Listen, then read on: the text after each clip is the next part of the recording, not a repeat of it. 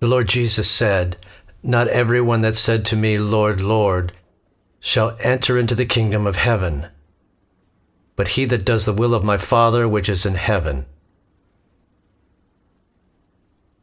As for this verse, I could never quite comprehend it. What does being saved really mean? What does it have to do with entering the kingdom of heaven? These questions have plagued me for over 20 years. Only when Almighty God's end time word came, His word, finally put an end to my confusion. Being saved into the kingdom of heaven is a mystery. If Almighty God had not revealed this mystery, man would never ever understand. You're right. Almighty God's end time work has revealed all mysteries, explaining the truth that we believers didn't understand before. Thank God. Thank God. It took me 20 years, and the road has been bumpy until today. If not for God's salvation in the last days, if I had continued in my walk with God, disbelieving in my own way, the final result would have been total destruction. But I had never thought that God's end time chastisement and judgment would thus come upon me, letting me hear His voice and understand the truth He expresses, and bringing me before His presence. God's end time salvation is indeed marvelous.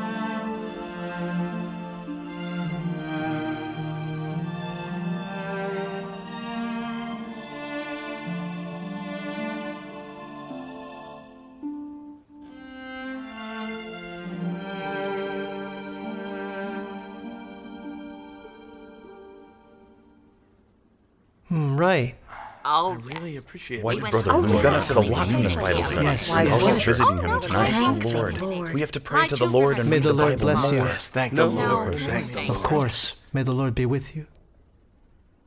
Co workers, let's end today's Bible study meeting. Does anyone still have any questions? No, No, questions. no No questions. questions. Thank the Lord. Thank, Thank thank the the Lord. Lord. Thank the Lord. Brother Fan, there's a question that's been troubling me. What is it? Go ahead. The Lord Jesus said, Not everyone that said to me, Lord, Lord, shall enter into the kingdom of heaven, but he that does the will of my Father which is in heaven. Now, every one of us often sins and often confesses. This is not doing the will of our Father. Do you think people like us could enter the kingdom of heaven? Ah, well, Yes, yeah, how why can we can't enter we? the in kingdom of heaven? heaven. How can It's we be shut out of it? From what I've read, He's right. I think that we. We all often sin and confess. How can we enter the kingdom of heaven? I don't How do we understand. enter the Can we kingdom of enter the heaven? From what I've read, We be I kicked think out of the kingdom of heaven. Brother Wu, it looks like our knowledge of salvation is still inadequate. The book of Romans says, For with the heart man believes to righteousness, and with the mouth confession is made to salvation. Amen. To confess with our mouth and believe in our heart is all we must do. Righteousness through faith means we are hence forever saved. Amen. When our Lord comes again, he will bring us directly into the kingdom of heaven. Amen. Brother Wu, we shouldn't have any misgivings about this. Yeah. You're right. Thank the Lord. We're already saved. We'll enter the kingdom of heaven. What's there to doubt, really? Yes, That's Can right. we That's enter the kingdom question. of heaven? I don't think so. The Lord Jesus said, But he that does the will of my Father which is in heaven. Although we are saved, we're still sinning by day and confessing by night. We're still not doing the will of our Father in heaven. We can't enter the kingdom of heaven yet. Amen. Yes. Brother, but don't forget, Paul in the book of Galatians says, For you are all the children of God by faith in Christ Jesus. Since we are children of God by believing in Jesus, surely we can enter the kingdom of heaven. Amen. Right. I You're don't right. understand. Brother Long, I wouldn't approve of what you said. The scripture says, You shall therefore be holy, for I am holy. Holiness without which no man shall see the Lord. Although we have been saved, this does not mean that we are holy, because we often sin and confess, and are not worthy to see our Lord's face. How can we enter the kingdom of heaven? How? Often can we? I- it would be How impossible. Can we enter the kingdom I- of heaven? I just don't know. Yeah, How? yeah. Fellow co workers, Paul in the book of Romans has already told us clearly Who shall lay anything to the charge of God's elect? It is God that justifies. Who is he that condemns? Amen. The Lord Jesus has forgiven us all our sin, both sins we committed in the past and those we'll commit in the future, have been forgiven by the Lord. Amen. The Lord no longer sees us as sinners. We can certainly enter the kingdom of heaven. Amen. We cannot have doubts over this. That's right. Paul in the book of Romans also says, There is therefore now no condemnation to them which are in Christ Jesus. We are no longer under condemnation because we believe in Jesus Christ. Yes. We shouldn't worry. We'll enter the kingdom of heaven. Ah, Brother Wu's worry is unnecessary. It's unnecessary. We definitely How can could enter. we enter? I don't know. Brothers and sisters, since the scripture has said that, holiness without which no man shall see the Lord, and even the Lord Jesus said, only he who does the will of the heavenly Father can enter the kingdom of heaven. Amen. This is sufficient proof that only they who attain holiness can enter the kingdom of hmm. God. Yeah, you're right. That's right. Lord How can Jesus has forgiven enter all our God's sins kingdom? and doesn't regard us as sinful. We have to make Aren't we holy clear. already? Before. My fellow co workers, on the question of being saved, Paul has already told us all clearly. For by grace are you saved through faith, and if by grace, then it is no more of works. Otherwise, grace is no more grace. Amen. The Lord's salvation is freely given by grace and does not depend on human works. If this depended on human works, how can we call this Lord's grace? Amen. Now we can enter the kingdom of heaven based on the Lord's grace. Amen. Brother Fan is right. Paul in the book of Timothy also said, God, who has saved us and called us with an holy calling, not according to our works, but according to his own purpose and grace. We who believe in Jesus enter the kingdom of heaven based on grace. If it were based on works, who then could be saved? Yeah. We just live by the Nobody grace of Jesus saved. Christ. Brothers and sisters, whether we believers can enter the kingdom of heaven is decided by what the Lord Jesus said or what Paul said. By what the Lord Jesus said. Is it Lord Jesus' words that have authority or Paul's words that have authority? the Lord Jesus' words have authority. Do we confess that the Lord Jesus is the way, the truth, and the life? Of course we confess. Good. Since we confess that the Lord Jesus is the way, the truth, and the life, and what Paul said and what our Lord Jesus said are contradictory and are opposite, that would mean that what Paul said is impure. It comes from human will and is not the truth. I would rather believe what our Lord Jesus said. But he that does the will of my Father which is in heaven. It's the standard for entering the kingdom of heaven. Right. The word of the Lord Jesus is unshakable truth. But are Paul's words not the truth? Not the words in the Bible?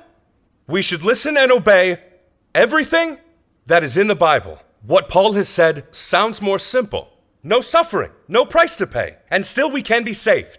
Isn't this better? Amen. Yes. Is that possible? Oh my. Brothers and sisters, I feel we who believe in God should make the words of Lord Jesus a standard. Because Lord Jesus is the Lord of the kingdom of heaven. His word is the only truth, the only authority. If his words carry authority, then what he says counts. Paul isn't the Lord of the kingdom of heaven. His words don't carry authority, nor do they count. Paul was nothing more than an apostle with a corrupt human nature. He himself needs God's salvation. Whether he can enter the kingdom of heaven is still decided by the Lord Jesus. What right does he have to decide if others can enter or not? I feel like Right? reading It's hard to say Bible whether is Paul the himself word can of enter the God. kingdom of heaven. Well, So the how can words of Paul are all others true. Yeah, you're not? right. Certain Think that Paul is implied by God in the wrong. Bible are I don't true. Co workers, about being saved into the kingdom of heaven, let us all return and seek answers through prayer. We'll end today's meeting here. Let us pray.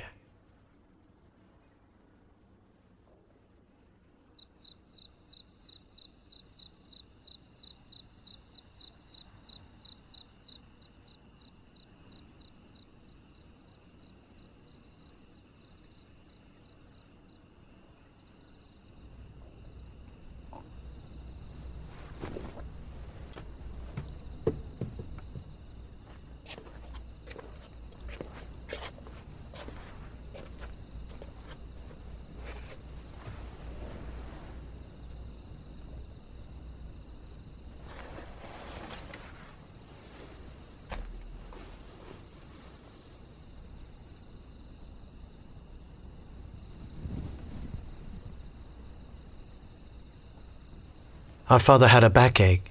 Is he any better now? Hmm. Much better. Thank the Lord. Guoyi, about today's co-worker meeting, I think Brother Wu is right. Paul is not the Lord of the kingdom of heaven. He can't decide if man can enter the kingdom of heaven. Lord Jesus is the king of it. He is the way, the truth, and the life. Only his words can decide if we can enter the kingdom of heaven. Lord Jesus speaks the truth, but Paul's words were inspired by God. They're also the truth. Is there anything wrong in following Paul's words? If you believe in God, why not follow Lord Jesus' words? Why do you insist on following Paul's words? Do you trust in Lord Jesus or in Paul? Who exactly do you believe in? What do you know? How many times have you read the Bible? Since Paul's words are recorded in the Bible, they must have come from God. If we follow Paul's words, we're not wrong.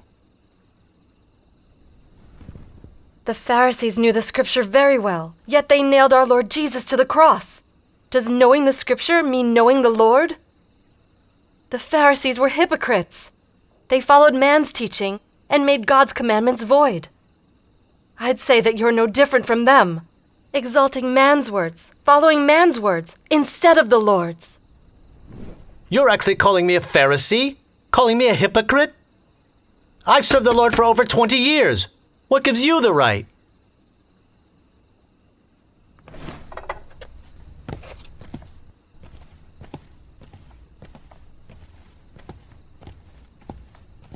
How dare you? I need rights to teach you? What's that supposed to mean?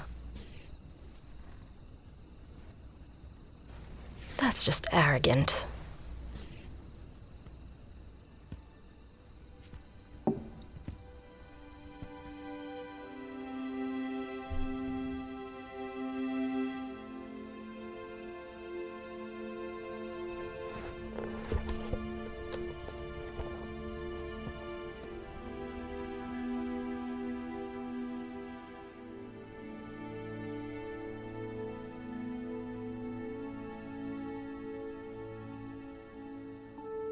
Take heed, therefore, to yourselves and to all the flock, over the which the Holy Ghost has made you overseers to feed the church of God, which he has purchased with his own blood.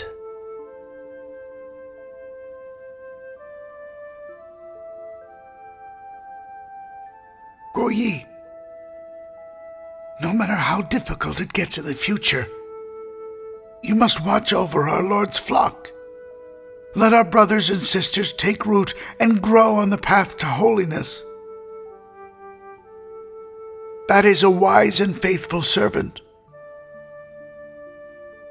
And I believe that there will be a crown of righteousness laid up for us.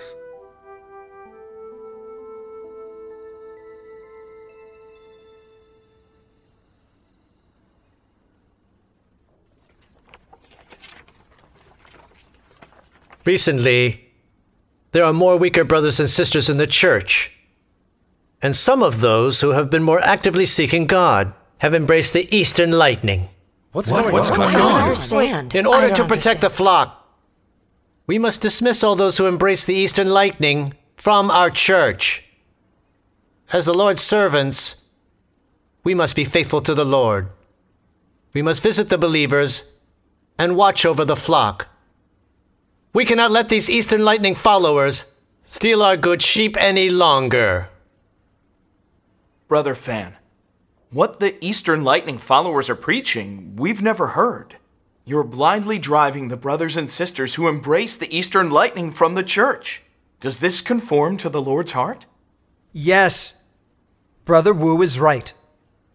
If we're really thinking about the flock, we should take the initiative to examine what the Eastern lightning is all about, to see if what Almighty God expresses is the truth, and if Almighty God is the returned Jesus Christ. If the Eastern lightning is the true way, we should be bringing our brothers and sisters to it. If what they're spreading is not the true way, then we'd be able to answer to our brothers and sisters. What's there to examine? Surely Brother Fan would know if it's the true way or not. And we support his plan. Dismiss everyone who embraces the Eastern Lightning. To protect the flock, Brother Fan is right. I'm doing this out of responsibility for the lives of our brothers and sisters. If we do not seal up the church and not dismiss everyone who embraces the Eastern Lightning, in no time at all, all of our good sheep would be stolen away by them. How can we answer to the Lord? That settles it. It is decided.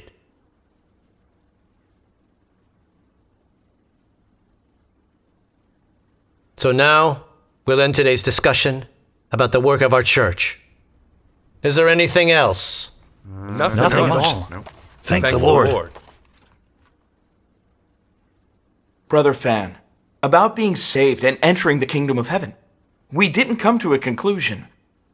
I think these two things are not one and the same. Yes. How do we tell us the difference?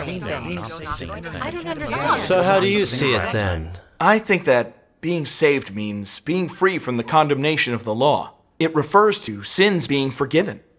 But those who are saved can still oppose and rebel against God through sin, while those who enter the kingdom of heaven ought to be those who do the will of our Father in heaven, who obey God's word. They are those who know and submit to God, who are compatible with God.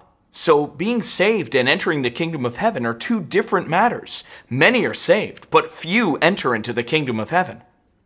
That is Yes, we surely can enter the kingdom of heaven. is the Lord's Yeah, I agree How with can that. it be anything Thank you for else? bringing that up. That's right. Yeah, we surely can enter the kingdom of heaven. My fellow co-workers, I agree with Brother Wu's point of view. The Lord Jesus said, "The kingdom of heaven suffers violence, and the violent take it by force." It's not so easy to enter the kingdom of heaven. It's not just about relying on grace. We must actively follow the Lord's way before we can enter the kingdom of heaven. Absolutely. Without actively We must following trust in the Lord's can way we and do all we can to enter the kingdom of heaven. Brother Wu, I agree that you are right. To enter the kingdom of heaven is to do the will of our Heavenly Father. But haven't we been imitating Paul, setting everything aside for the Lord's work, laboring and paying the price? Is this not doing the will of our Heavenly Father? Yes, Oh, that's, that's right. what it is. That's what it you is. see? We believe that if we persevere to the end, we will enter the kingdom of heaven. Amen. Brother Fan is right. We follow the Bible's teaching, spreading the gospel, suffering for the Lord, preaching everywhere, watching the flock. That is doing the will of our Heavenly Father. Yes, I think so. Does doing the Heavenly Father's will only I wouldn't that? see it that way. The Lord Jesus has never said that. If we laid everything else aside and labored for him, we would enter the kingdom of heaven. The Lord Jesus said, But he that does the will of my Father which is in heaven. I say, those who truly do the will of the Heavenly Father should be those who love God with their heart, their soul, and their mind. They have attained holiness and never sin. Only they can enter the kingdom of heaven. Amen. Right. The Lord Jesus said, Then shall the righteous shine forth as the sun in the kingdom of their Father. The righteous here are not those justified by faith, but those who do the works of righteousness and never sin. While we may now lay all aside for the Lord's work, we still sin and are not truly righteous. We are not worthy to enter the kingdom of God. Amen. Yeah? I agree. Amen. Aren't We we are doing doing the this Father's will as right creatures, so we are not entitled to We of course can enter the kingdom of heaven. My fellow co workers, regarding entering the kingdom of heaven, the Apostle Paul has shown us the route. I have fought a good fight. I have finished my course. I have kept the faith.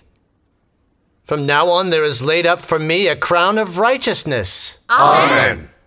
What Paul said is enough to prove that when we spread the gospel, labor and suffer, and keep the faith, we are doing the will of our Heavenly Father and the works of righteousness. Amen. Amen.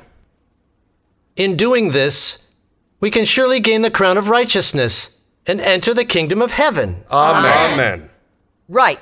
We only need to imitate Paul, spending ourselves on the Lord's work, subduing ourselves, and we will have a part in the kingdom of heaven. Amen.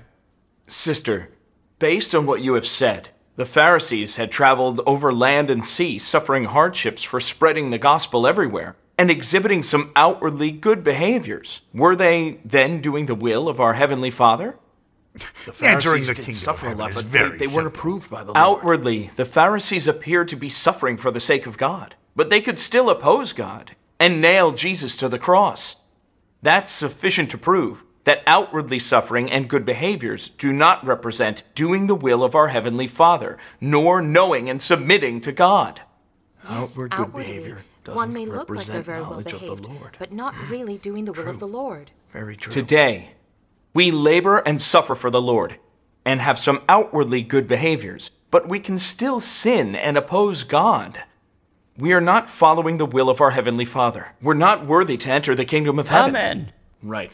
Right. We can still sin often, so we are unqualified to enter the kingdom of heaven. Exactly. Performing outwardly good behaviors is not doing the will of our Heavenly Father. They still won't get us into the kingdom of heaven. Yeah, Yes, that's, that's right. right. Yes, what the that's sister right. said is right. I agree. I know exactly yes. what she's saying. and I Is there agree. something wrong in striving according to what Paul said? Not at all.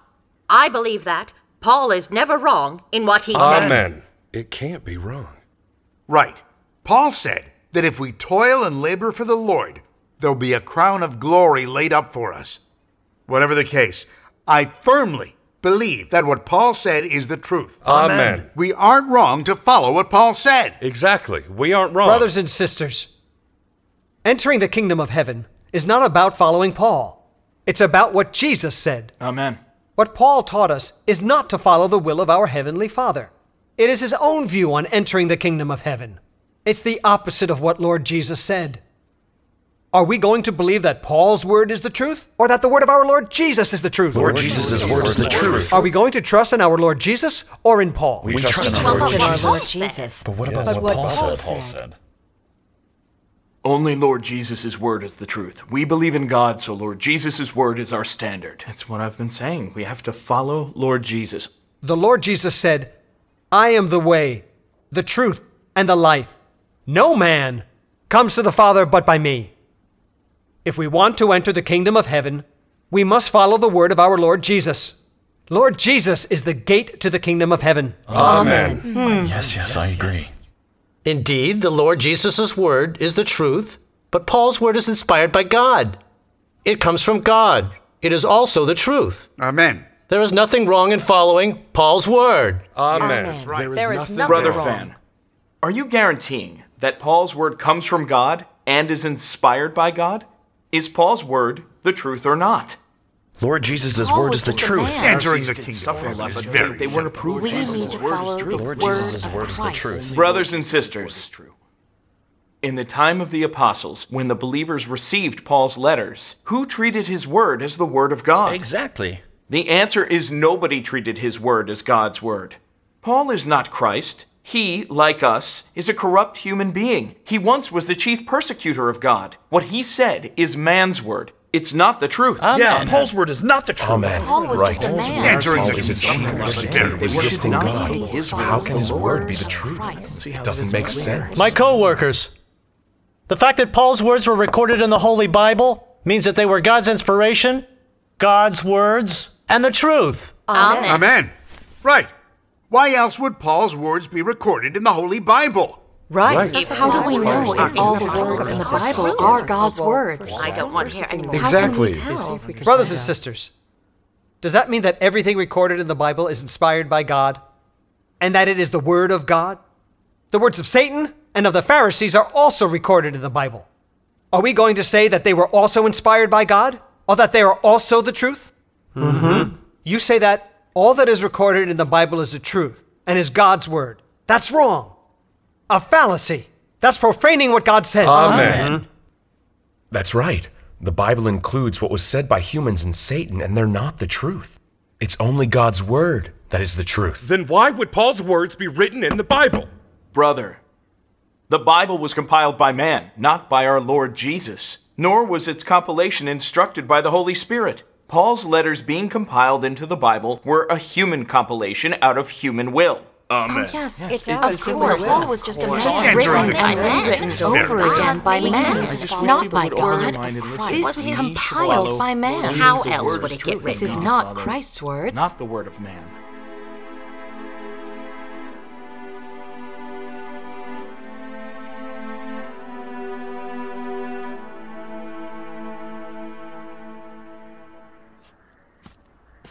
Will ye? Dinner time. Okay.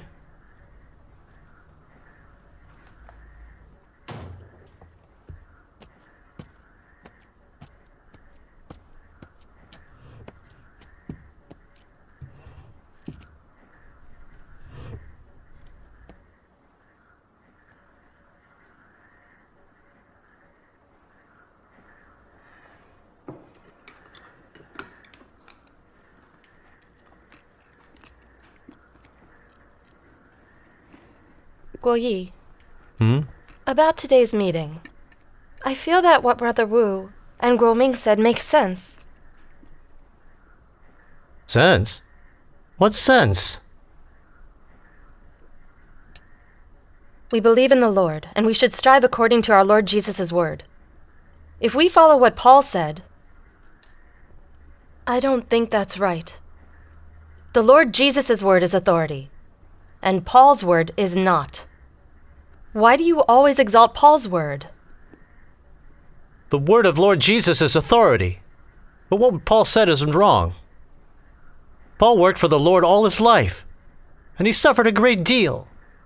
For over 2,000 years, Paul has been the model for all Christians, hasn't he? Is it wrong to try to live like Paul? How does what Paul said go against the truth? Why are you so stubborn? Lord Jesus said, Only he who does the will of the Heavenly Father will enter the kingdom of heaven. Can you promise that anyone who follows Paul's word will enter? You are the elder of the church. If you go down the wrong path, you would be a blind guide. If you mislead the brothers and sisters, that would be a terrible sin. You're saying that I'm leading blindly? For over 20 years, I have been studying the Bible, spreading the gospel, establishing churches, and shepherding the flock. Isn't that doing the will of our Heavenly Father? It just can't be wrong to lead the believers in this way. Why do you keep opposing me?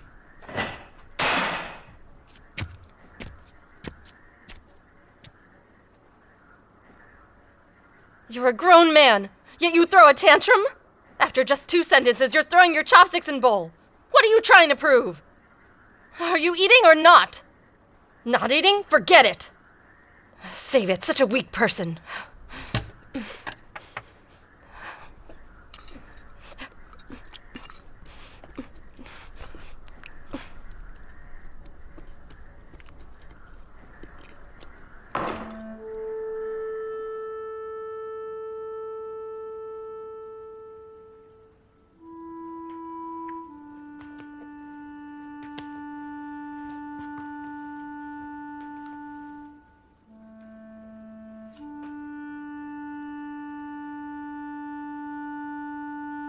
I have fought a good fight. I have finished my course. I have kept the faith. From now on, there is laid up for me a crown of righteousness.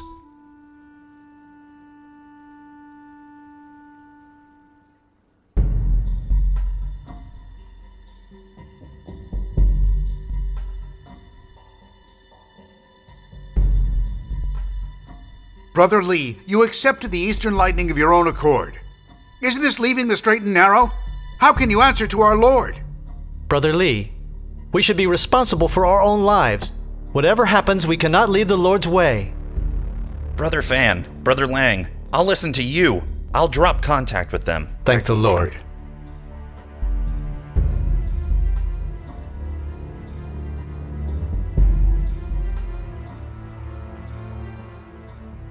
Don't receive the Eastern Lightning followers anymore. Do you know the consequences of this? We must hold fast to the word given to us by our Lord Jesus. Anyone saying, Our Lord has already come, is quite simply a heretic. You must never embrace it again. They are misleading people. Never deal with them again. All right. If they come again, I'll no longer receive them or listen to them. Now that's right. Thank the Lord. Thank the Lord.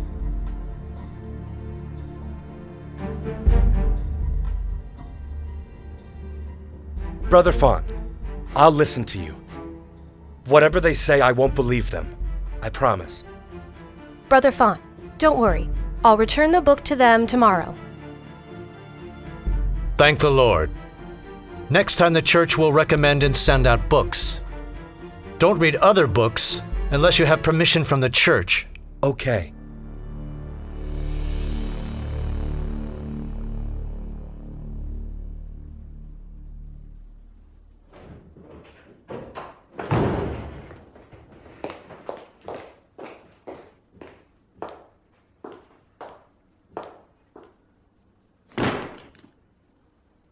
Fan Guoyi, Brother Wu has served the Lord for many years. He's upright.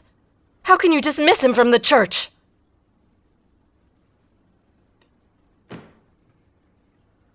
He did things without consulting me. He privately embraced the Eastern Lightning. How can I not dismiss him? And he did it behind my back. How could he? That was very arrogant of you. He believes in the Lord and not you. Don't you talk about love? Don't you talk about being long suffering? Don't you often say that you're the Lord's faithful servant? Where's your love for the brothers and sisters?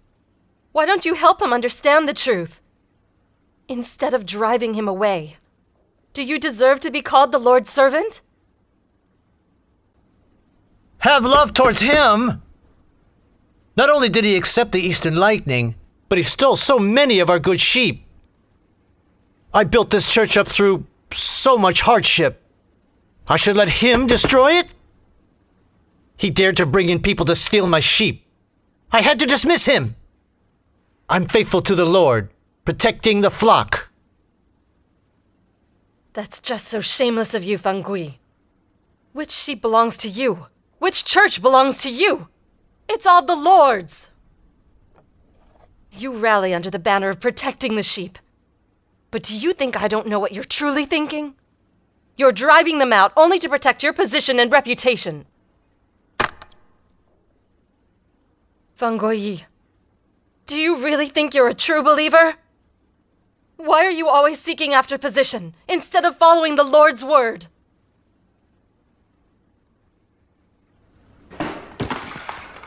Hu Jinchuan!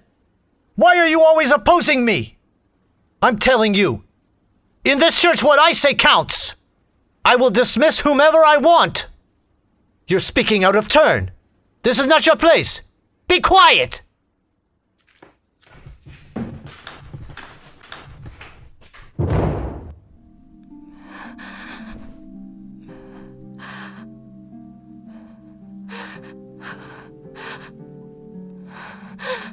Oh, Lord.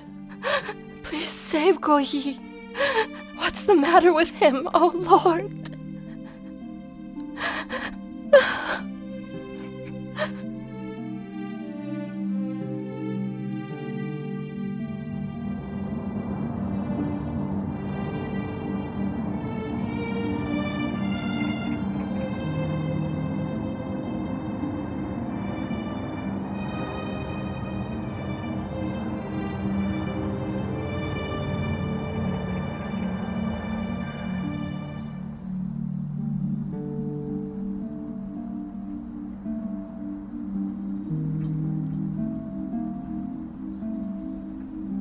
In every instance, Jinjuan has been exposing me. In fact, everything she said is true. Dismissing the brothers and sisters isn't in line with the Lord's heart. I don't have any truth inside me. Seeing the brothers and sisters who pursue more actively, left to believe in the Eastern Lightning, I'm unable to talk them out of it in any way. Oh Lord, can there be truth in the Eastern Lightning?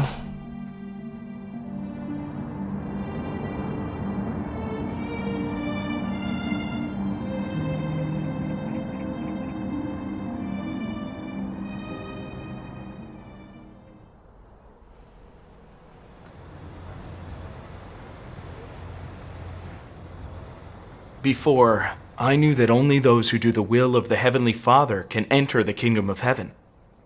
But how exactly to attain that, I never had any way to go about it. Thank God. Now I finally understand.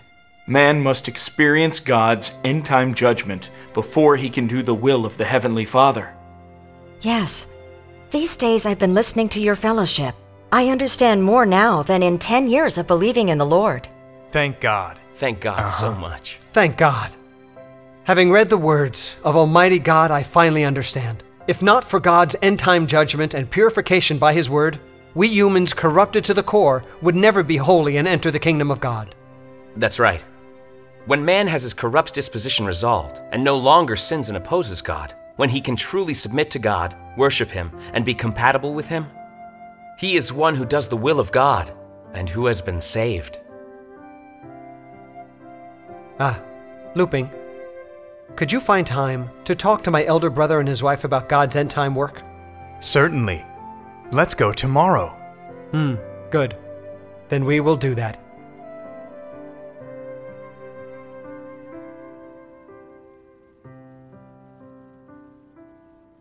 Brothers and sisters, concerning who can enter the kingdom of heaven, the Lord Jesus said, Not everyone that said to me, Lord, Lord, shall enter into the kingdom of heaven, but he that does the will of my Father which is in heaven. The Lord Jesus' word tells us clearly that only those who do the will of the heavenly Father can enter the kingdom of heaven. What exactly does it mean to do the will of the heavenly Father? We can set aside all things to spread the gospel and shepherd the church.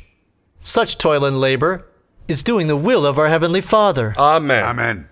Is there any wrong in the way we carry this out? Not at all. We spread the gospel and watch over the Lord's church. That's doing the will of our Heavenly Father. Amen. Brothers and sisters, we can spread the Lord's gospel and toil and labor, but this does not mean we're doing the will of our Heavenly Father. Truly doing the Heavenly Father's will is following His words and commandments, and doing our duty according to His requirements. Just like what the Lord Jesus said, you shall love the Lord your God with all your heart, and with all your soul, and with all your mind. This is the first and great commandment. And the second is like to it you shall love your neighbor as yourself. Doing the Heavenly Father's will means following and practicing what the Lord Jesus currently says. This is the most basic principle. If we do not focus on obeying the Lord Jesus' words, but on obeying man's words in the Bible, that is not doing the Heavenly Father's will. Doing the will of God is following the Word of God. If people always exalt the Apostles' word in the Bible, and not the word of the Lord Jesus, then they are not doing God's will, but are opposing God. People who do the will of God will submit to and practice whatever He says or does. They can accept God's commission and testify Him, and no longer rebel against or resist Him. Such people are the holy ones. For example, Abraham. He was able to listen to God, sincerely willing to give his only beloved son back to God. Because of his absolute obedience, God blessed his descendants to be a great nation. Another example Job feared God and kept away from evil. Even when tested with the loss of his possessions and children, he would rather curse himself than murmur against God. He still praised Jehovah's holy name. So, in the eyes of God, he was perfect. There's also Peter. He followed the Lord Jesus all his life, thirsting and seeking after the truth. After he received the Lord's commission, he abided by the Lord's will and requirements to shepherd the church, finally submitting even to death and loving God to the utmost. They were all people who obeyed and feared God. Such people are those who truly do the will of the Heavenly Father. If toil and labor is all there is to doing the Heavenly Father's will, then why did the Pharisees travel over land and sea, spreading the gospel, toiling and laboring only to receive the condemnation and curse of the Lord Jesus? That's because they believed in God, but were not walking in His way. When the Lord Jesus came for His new work, not only did they not embrace Him, but they instigated the common believers to wildly condemn and oppose Him, even setting up false witnesses to frame Him. All that they did was to depart from the Lord's way and make an enemy with Jesus. Even if they outwardly suffered a lot or did much work, how can they be said to be doing the will of the Heavenly Father? Based on that, people who only toil and labor outwardly, but do not carry out the words of the Lord, are not followers of the Heavenly Father's will. Exactly. Like Abraham and Job. People who submit to God, listen to His word, and witness for the Lord are those who do the Father's will and can enter the kingdom of heaven. If we measure by these standards, then there aren't many people who are truly doing the will of the Heavenly Father. The Pharisees did not do God's will, but opposed Lord Jesus. What does that have to do with us? Now, we believe in the Lord Jesus. We suffer a lot and sacrifice all to preach his name. That means we're already holy. I ask you, isn't this doing God's will? Absolutely. We fervently work for the Lord and will spend anything. We are doing the Heavenly Father's will. Our Lord will surely bring us into the kingdom of heaven.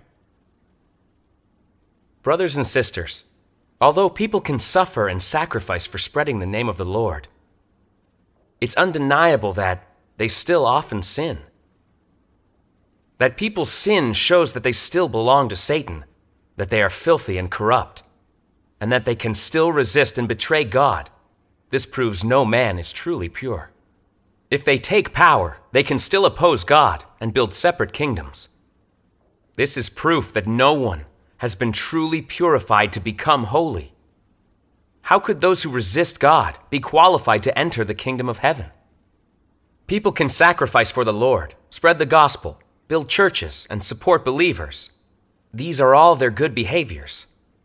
If their good behaviors are done for loving God, for truly working for God, and for obeying and satisfying God without any thought of personal gain, these are truly good deeds that will be remembered and be blessed by God. But if their good behaviors are done for an exchange, for satisfying fleshly needs, or entering the kingdom of heaven and getting rewards, then these good behaviors are merely deceptive in nature and are against God. Can these deceptive behaviors claim to be following the Heavenly Father's will? Can they claim to be holy? Absolutely not. Because these good behaviors are driven by their sinful nature and are tokens of exchange for privilege. It shows that there is too much mingled in their hearts. How could such people have a heart that truly loves God and obeys God? People are driven and controlled by their sinful nature. When God's work and words clash with their views, they casually judge God, deny God, and condemn God. When God puts them through trials, they misunderstand God, complain against God, and betray God.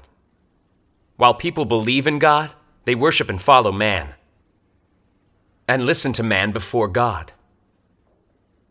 When serving God, they do it arbitrarily, raise and testify themselves, making an enemy of God. They are bound and controlled by their sinful nature, and given power, they'll surely oppose God and build separate kingdoms, just like the chief priests, scribes, and Pharisees in the religious world. When the Lord Jesus came to do his work, they scrambled to condemn and resist him to protect their own positions and kept his salvation from ever being accepted into the religious world. Is that not building a separate kingdom in opposition to God? So, for all those who labor and display good behaviors outwardly, if they haven't dealt with their sinful nature, if their satanic disposition within is not purified, no matter how much they suffer or how great the work they do, how can such people become followers of God's will? Those who follow God's will are surely those who obey God absolutely, whose hearts are in accordance with God's heart, and who would never rebel or go against God. It is they who are qualified to enter the kingdom of heaven and inherit God's promises.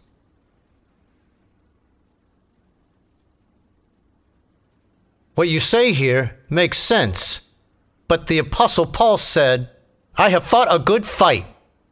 I have finished my course. I have kept the faith. From now on, there is laid up for me a crown of righteousness. Amen. Amen. And so, if we act according to Paul's words, we are following the will of God, and will enter the kingdom of heaven and be rewarded. Amen. Those were the words of Brother Paul. How could it be that Brother Paul was mistaken? Do as Brother Paul did, and toil to do good works. That is the key by which we enter the kingdom of heaven. Amen. Brothers and sisters, as to who may enter the kingdom of heaven, the Lord Jesus has already said, But he that does the will of my Father which is in heaven. This fully shows the essence of God's righteousness and holiness. The filthy, corrupt man of Satan can't enter the kingdom of heaven. But Paul said he fought a good fight and finished his course, and kept the faith so he could enter the kingdom of heaven and be rewarded. According to Paul, if people simply work hard for the Lord, they can enter the kingdom of heaven, even if they don't follow God's word and are not holy. Then how should God's righteousness and holiness be known? In saying that, Paul is totally hostile to God. He's denying the words of Lord Jesus and is disrupting and disturbing God's work. So, is simply fighting a good fight and finishing the course following the Heavenly Father's will? Is simply holding on to the name of Lord Jesus without betraying the Lord following the Heavenly Father's will? Following the Heavenly Father's will is following God's words, His commandments, and His instructions. If men don't act according to the Lord's word, their labor has nothing to do with doing the will of the Father which is in heaven. Paul's words were born purely of his own notions and imagination, and were mixed with his own intents and ideas. This is enough to show that Paul was not really doing the Heavenly Father's will. If he were a man who did God's will, why did he not teach the believers to follow the words of Lord Jesus? Why did he preach notions that betrayed the words of Lord Jesus and went directly against his teachings? He used his own absurd views to mislead and deceive others, obstructing others from walking the way of Lord Jesus and making his word hollow. He asked men to follow him and betray the Lord. This shows us that Paul was not a seeker of truth or a follower of God's will. Brothers and sisters, the words of Lord Jesus are our guide to entering the kingdom of heaven. Because he is the king of the kingdom of heaven, and only his words are the truth and the authority. Only the Lord Jesus can decide who can enter the kingdom of heaven. Paul was only an apostle who spread the gospel. He was not Christ, and his words are not the truth. So, what he said doesn't count. Only the Lord Jesus could decide if he himself would enter the kingdom of heaven. How could Paul judge whether others would be qualified to enter? If we compare Paul's words with those of the Lord Jesus, the words of the Lord Jesus have authority. His words are the truth. Paul's words have no authority and are not the truth. Paul's words came from his human imagination, not from the Holy Spirit. If they had been truly inspired by the Holy Spirit, how could they clash with the Lord's words? Hmm. Using Paul's words as a guide to enter the kingdom of heaven is straying from the Lord's way. You all say Brother Paul's words aren't the truth. If that's so, why are his words in the Bible? Since Paul's words are in the Holy Bible, they are inspired by God, and they represent God's words. Words that we have to pursue. Amen. Brother Paul's words are recorded in the Bible. That makes them the words of God. Exactly. All of Christianity acknowledges this. No one would dare deny it. Amen. We have been pursuing according to the Apostle Paul's words. Are we wrong to do so? Hmm. Brothers and sisters, although Paul's words are indeed in the Bible, that does not represent they are God's words. The Bible was composed by men, not by Jehovah God Himself, nor was it composed by the Lord Jesus, or the Holy Spirit. How could something composed by men be perfect? In the Bible, the words of Jehovah, the words He told His prophets, and the words of the Lord Jesus are God's words. God has never testified that the words of the apostles represent His words, nor has God testified that the words of the apostles are inspired by Him. All Scripture is given by inspiration of God, is the word of Paul. The Holy Spirit never testified to that, nor did the Lord Jesus. Only Paul himself spoke those words, so his words are unfounded. In their time, the apostles wrote letters to different churches. And people would say that these were the words of Brother Paul or Brother Peter. They all knew that the apostles' letters were indeed the words of men. None of them would treat these letters as the words of God. That is a historical fact. No one can deny it. In the age of grace, only the Lord Jesus was God incarnate, and only He could express God's word. The apostles were men used by the Lord, and when they spoke, they spoke the words of man. Their words only represented their own understanding and experience of God's words, even if some were inspired by the Holy Spirit, but they were not God's words. Even Paul himself didn't dare claim that his words were God's words, or the inspiration of God, nor did he claim to speak for the Lord Jesus. So, if we try to claim that Paul's words are also God's words, and obey them as we obey God's word, because they are in the Bible, we are making a mistake. Yes. How can, How how can they say it's a mistake? It's unfair to judge It's the unfair. I had judge never thought about Paul. Paul's It's letters that What are we doing? It seems that That's Paul's really are wrong. truly not God's just word. understand. How can What Paul's is word be taken as God's word? The Bible was put together by men, not by God. Why didn't we realize this fact?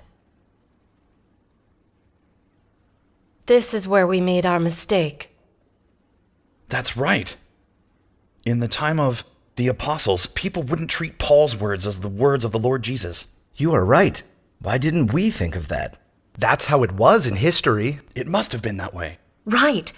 For almost 2,000 years, people all treat Paul's words as God's words. How could we have been so ignorant? We thought Paul's words were the words of God just because they were in the Bible. That way of thinking must be mistaken. It goes against history. Brothers and sisters, why do people worship the Bible and blindly trust it? Because they don't know it was composed by men, which is not according to God's will. So they place blind faith in it and worship it, taking every word of it as God's word. That goes against historical fact and comes from human ignorance. Let's look at what Almighty God says. Paul's letters in the New Testament to the churches were not the revelation of the Holy Spirit, nor words directly from the Holy Spirit. They were simply Paul's exhortation, consolation, and encouragement to the churches during the time he worked, as well as a record of his many works. Everything he said that edified others and had a positive effect was correct. But his words did not represent the words of the Holy Spirit and did not represent God. To regard man's letters, the record of man's experiences as words spoken by the Holy Spirit to all of the churches, is a grave misunderstanding and the worst kind of blasphemy. He was not a prophet or a foreteller, just a working apostle, a sent apostle And so his own work and the life of his brothers and sisters were what mattered most to him. So he could not speak on behalf of the Holy Spirit. His words were not the words of the Holy Spirit, much less the words of God. Because he was merely one of God's creations and not God incarnate. His identity was different from that of Jesus, whose words were the Holy Spirit's words, God's words. For Jesus was the Christ, the Son of God. How could Paul be his equal? If people hold the letters or words like Paul's to be the utterance of the Holy Spirit and worship them as God, it shows that they are too undiscriminating. To put it baldly, are they not purely blasphemers? How can a human being speak on behalf of God? How can people prostrate themselves before the letters and words of a man, holding them to be a holy book, a heavenly book? Do God's words simply fall off of man's lips? How can man speak on God's behalf? Brothers and sisters, now we can see which words are indeed the words of God and which are the words of men. In the past, we trusted and worshiped the Bible too much. We believed the Bible was God's inspiration and that it was His Word. And we thought it was composed by God, but that was a terrible mistake. Without truth, men are easily deceived. We don't know how to tell God's words from the words of men, and insist on calling man's words the words of God. That is simply grave ignorance. Paul was merely a servant sent by God. He was not God incarnate. He could never express the words of God. If men have put Paul's words on par with God's words, then they are seriously offending God's disposition.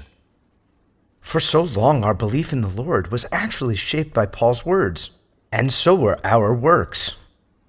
We treated Paul's words as God's words and ignored the words of Lord Jesus. Now, I finally understand. We were following a man and worshiping a man. Yes. We mistook Paul for a God man. Paul occupied the most space in our hearts. We had little room left for the Lord Jesus. How is that believing in the Lord? That's believing in Paul. In the past, we just blindly trusted and worshipped Paul, and we mistook his words for the words of God. We were ignorant fools. We were following a man, letting a man guide us. That isn't believing in the Lord. Yes, that's following a man and worshiping a man. How could our faith in the Lord not be misguided? We believed according to Paul's teachings. How could we become followers of God's will?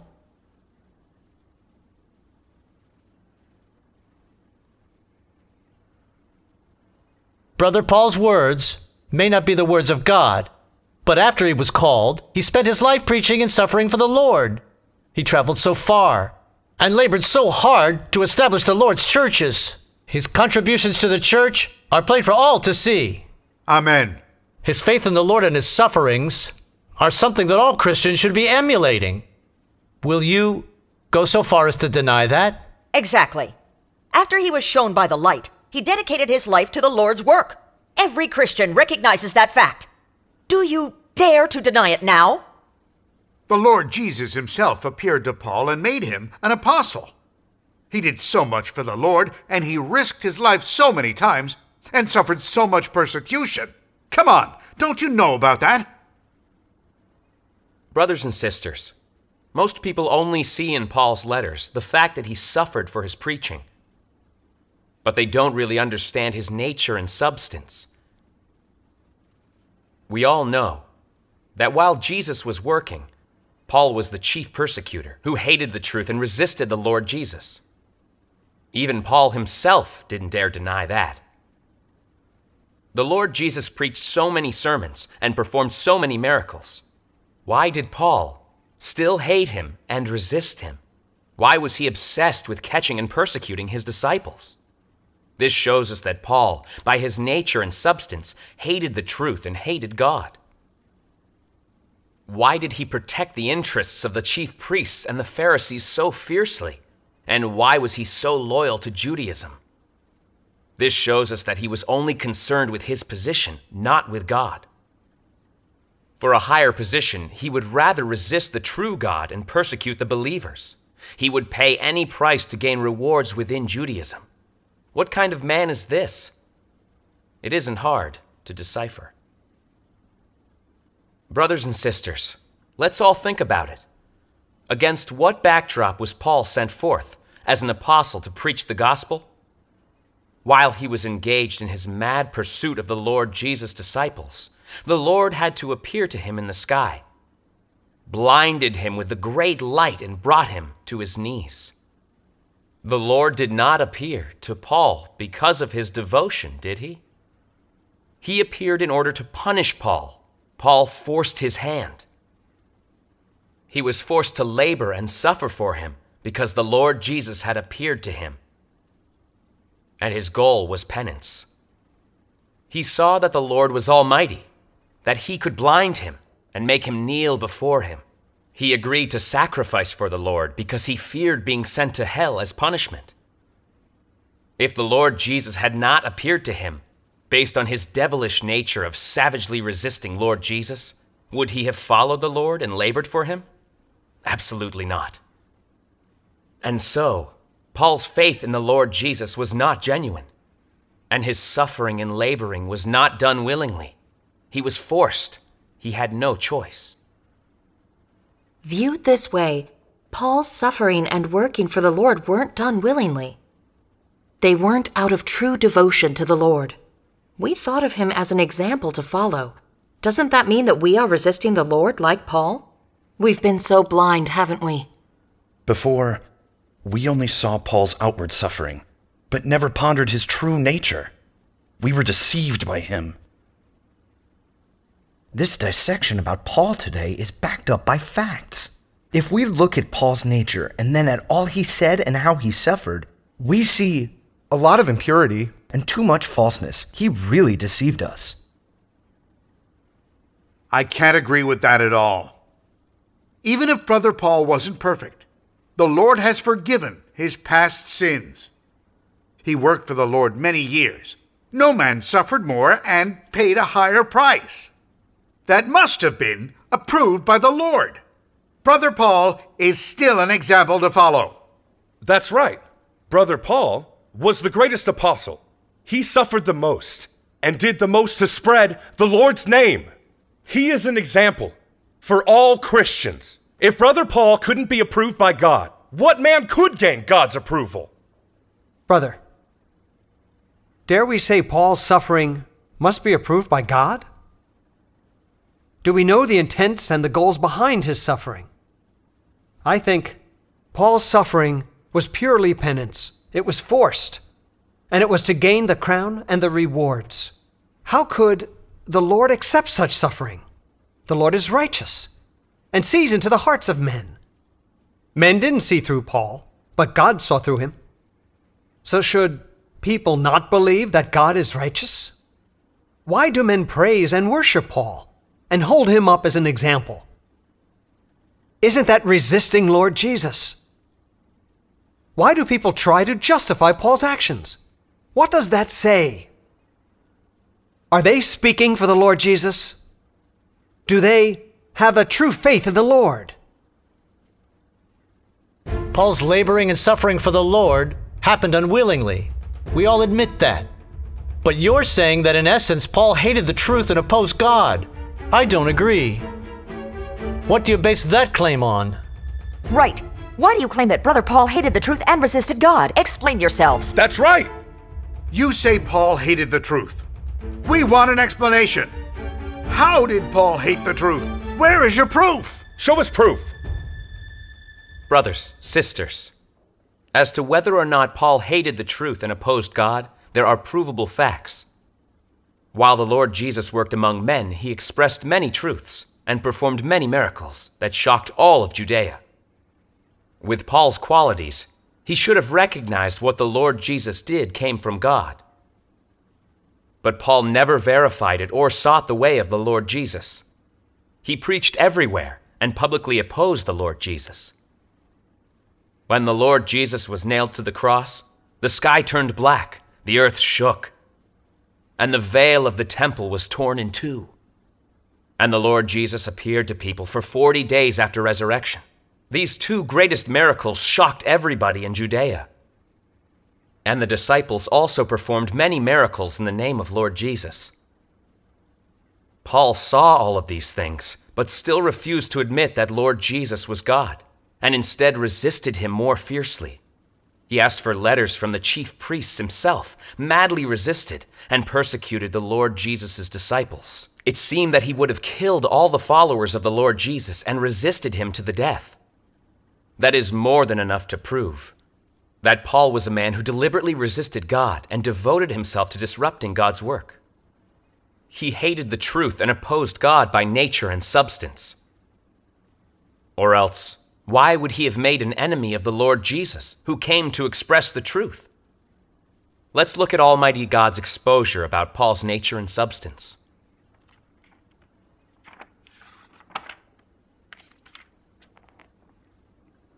Almighty God says, At the very mention of Paul, you may think of his history and of some inaccurate and spurious stories about him. He was taught by his parents from childhood and received my life, and because of my predestination, he was possessed of the qualities required by me. However, his flaw was that, because of his innate gifts, he often talked boastfully. And so, because of his disobedience, part of which directly represented the archangel, when I became flesh for the first time, he did his utmost to resist me. Because from the beginning, he was a persecutor of Christ and disobedient to Christ. He had always been a rebel who was deliberately opposed to Christ and had never known the working of the Holy Spirit. When his work was nearing its end, still he did not know the working of the Holy Spirit, but acted solely according to his own willful nature, paying not the slightest attention to the will of the Holy Spirit. And so he was by nature hostile to Christ and disobedient to the truth. How could such a man be saved who was rejected by the working of the Holy Spirit, who did not know the work of the Holy Spirit, and resisted Christ. Brothers and sisters, the words of Almighty God have revealed Paul's nature so thoroughly. Paul was a man who deliberately resisted Christ and made an enemy of God. And Paul never actually knew the Lord Jesus. His savage resistance to Lord Jesus was due to his hatred of God and of the truth expressed by the Lord Jesus. Viewed in this way, Paul truly hated the truth and resisted God by nature and substance. Yes, that's right. Paul's resistance to the Lord Jesus before the light shone on him was abominable. This is proof of Paul's malicious nature. He was ten times worse than the Pharisees, who resisted the Lord Jesus. A man like that could never have loved the truth. If someone who loved the truth heard the teachings of Lord Jesus, how could he hate and resist them? These facts are enough to prove that Paul hated God and hated the truth. His nature and his substance was exactly that of an antichrist.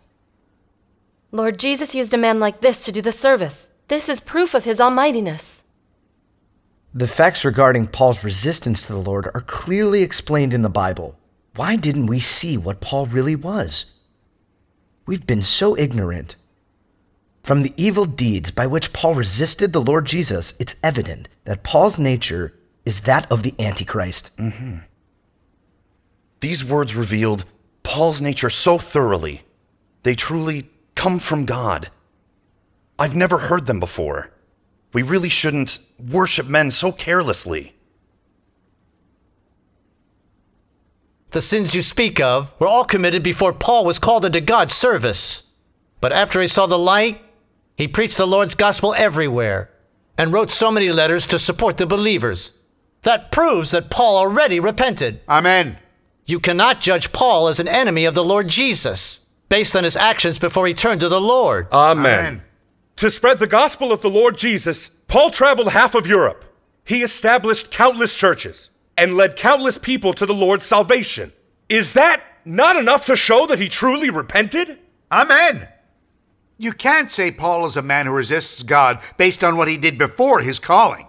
That is unfair to Brother Paul. We don't accept your opinions. We don't. Brothers and sisters, after Paul saw the light, he preached for many years and wrote many letters. But that doesn't actually prove that he truly repented. Within his letters, we don't see any real reflection upon or even awareness of his evil deeds in resisting the Lord Jesus or arresting his disciples. He merely admitted that he was a chief sinner. He never spoke about his nature and substance.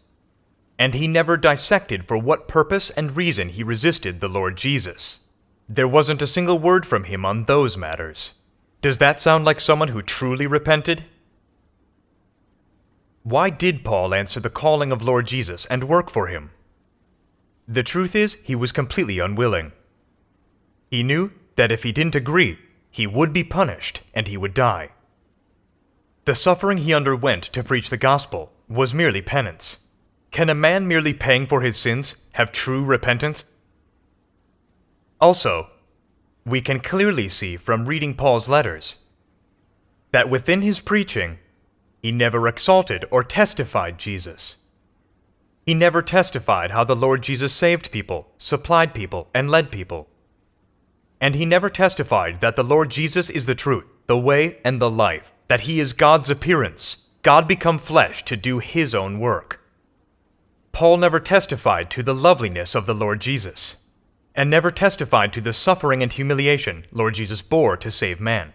He never preached of or testified to the whole truth the Lord Jesus expressed, or the words he spoke. Nor did he exhort believers to obey the words of the Lord Jesus, to abide by the whole truth expressed by him, to follow him, serve him, and testify him. Nor did he fellowship about the substance of the work of the Lord Jesus and the fruits of it, or about how to follow the Heavenly Father's will to enter the kingdom of heaven. Instead, he willfully explained the work of the Lord Jesus and misinterpreted his words. Many of the things he said gravely disrupted and disturbed the work of God in the age of grace. Can any of that prove he truly repented? The work of Paul did not lead believers before the Lord Jesus to experience his words or understand that Lord Jesus is the appearance of God. Instead, he exalted and testified of himself, led the believers before himself, and made them worship him. Isn't that exactly the way of the Pharisees? These facts are more than enough to prove that Paul never truly repented. What they are saying are indeed facts. Paul didn't testify of the Lord Jesus' words in his letters, but he often testified about how much work he did or how much he suffered. Isn't that exalting himself to make others worship him? It seems Paul was never truly repentant. Hmm. Without this fellowship, we never would have understood this. Indeed, we were deceived by Paul's outward suffering. Paul never exalted or testified the Lord Jesus. About what you say, I don't accept. Brother Paul wrote so many letters. Weren't they all testifying Lord Jesus? Brothers and sisters, it's true that Paul wrote many letters, but he never exalted or testified the Lord Jesus. Even when the Lord Jesus was mentioned, Paul was testifying of himself and using the name of Christ. For example, he often said in his letters, Paul, an apostle of Jesus Christ by the will of God. What Paul meant by that was that he was made an apostle of Christ by God's will, not by the will of Lord Jesus. But did God in heaven call Paul? No, it was the Lord Jesus who called. The Lord Jesus did not call Paul in the identity of God, he called Paul as Christ. But Paul said he was an apostle by the will of God. He did not believe the Lord Jesus Christ and God are one. In Paul's letters, God, Christ, and the Holy Spirit are always separate. He believed that God is God and Christ is Christ, that God is higher than Christ, and the Heavenly Father is the greatest. So Paul believed in the God in heaven, not in the incarnate Christ. Paul had no knowledge of the Lord Jesus, so he never exalted the Lord Jesus Christ as God. He never exalted or testified the words of Jesus Christ were God's words. He never asked people to magnify Lord Jesus in their heart. Viewed in this way, did Paul really believe in Christ? Was he following Christ or testifying Christ? No. The nature of Paul's such doings was grave. According to the word of the Apostle John, every spirit that confesses that Jesus Christ is come in the flesh is of God, and every spirit that confesses not that Jesus Christ is come in the flesh is not of God. And this is that spirit of Antichrist. This passage of Scripture tells us those who do not believe that God becomes incarnate are antichrists. Paul only believed in the God in heaven, but he didn't truly believe in Christ. That means that he was a non believer in the work of Jesus Christ. Waving the flag of an apostle of Jesus Christ by the will of God, Paul exalted and upraised himself in all aspects, always attempting to stand equal with the Lord Jesus Christ. This is sufficient proof of Paul's wild ambition he had not the slightest reverence or obedience to the Lord Jesus.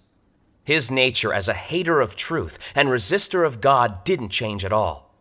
This is even more proof that he never truly repented. Hmm.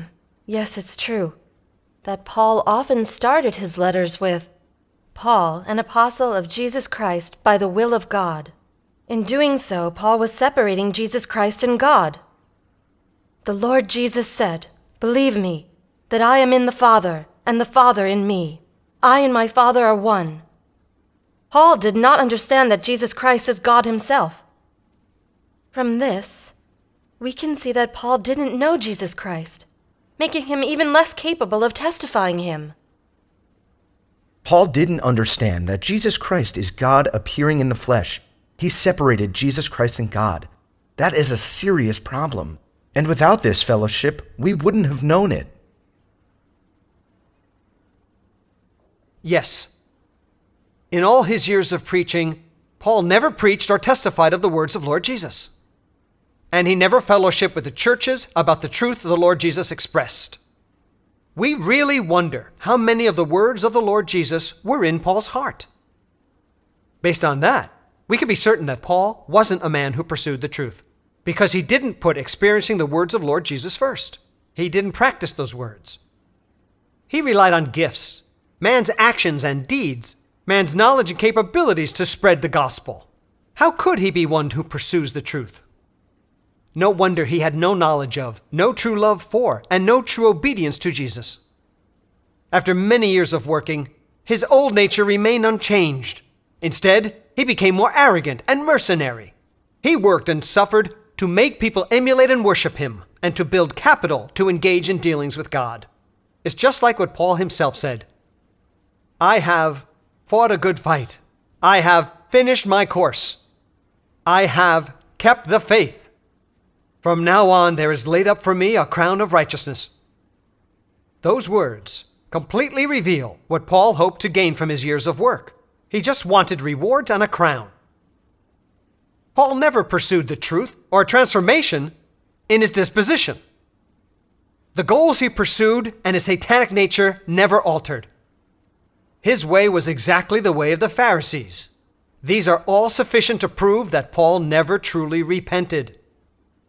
The Lord Jesus called Paul to give him a chance to repent and used him to spread the gospel. The Lord Jesus conquered Paul, who had a devilish nature. This shows us his almightiness and shows us that God can put any man into service for his work. Their exploration into Paul's nature, which was hostile to the truth and resistant to God, is very thorough. No matter how we look at it, Paul never truly repented. I've walked Paul's way and served the Lord for more than 20 years. How have I been wrong? Oh Lord, what way am I to walk now? You say Paul never truly repented. But Paul said he was Christ as he lived. When we emulate him, we're emulating Christ. That can't be wrong. Amen. The apostles' letters in the Bible are all God's words and are inspired by God. So their words carry the same weight as those of Lord Jesus. And they were all Christ as they lived. Jesus Christ is the incarnate Christ. And the apostles, as they lived, were also Christ. Both of them are Christ. Amen. Sister Lou, when did we ever say all of the apostles were Christ? How can you even say that? Didn't we say the apostles' letters were all the Word of God? If the apostles weren't Christ, how can their words then be the words of God? Sister Lou, how can you be so confused? Today, these two brothers from the Church of Almighty God have made themselves so clear. Not the whole Bible is inspired by God. The apostles' letters are the words of men, not the words of God. The apostles were not Christ. But Paul said he was Christ as he lived. Explain that. Hey, Sister Lou, don't get angry. Sit down and say what you have to say. It's okay.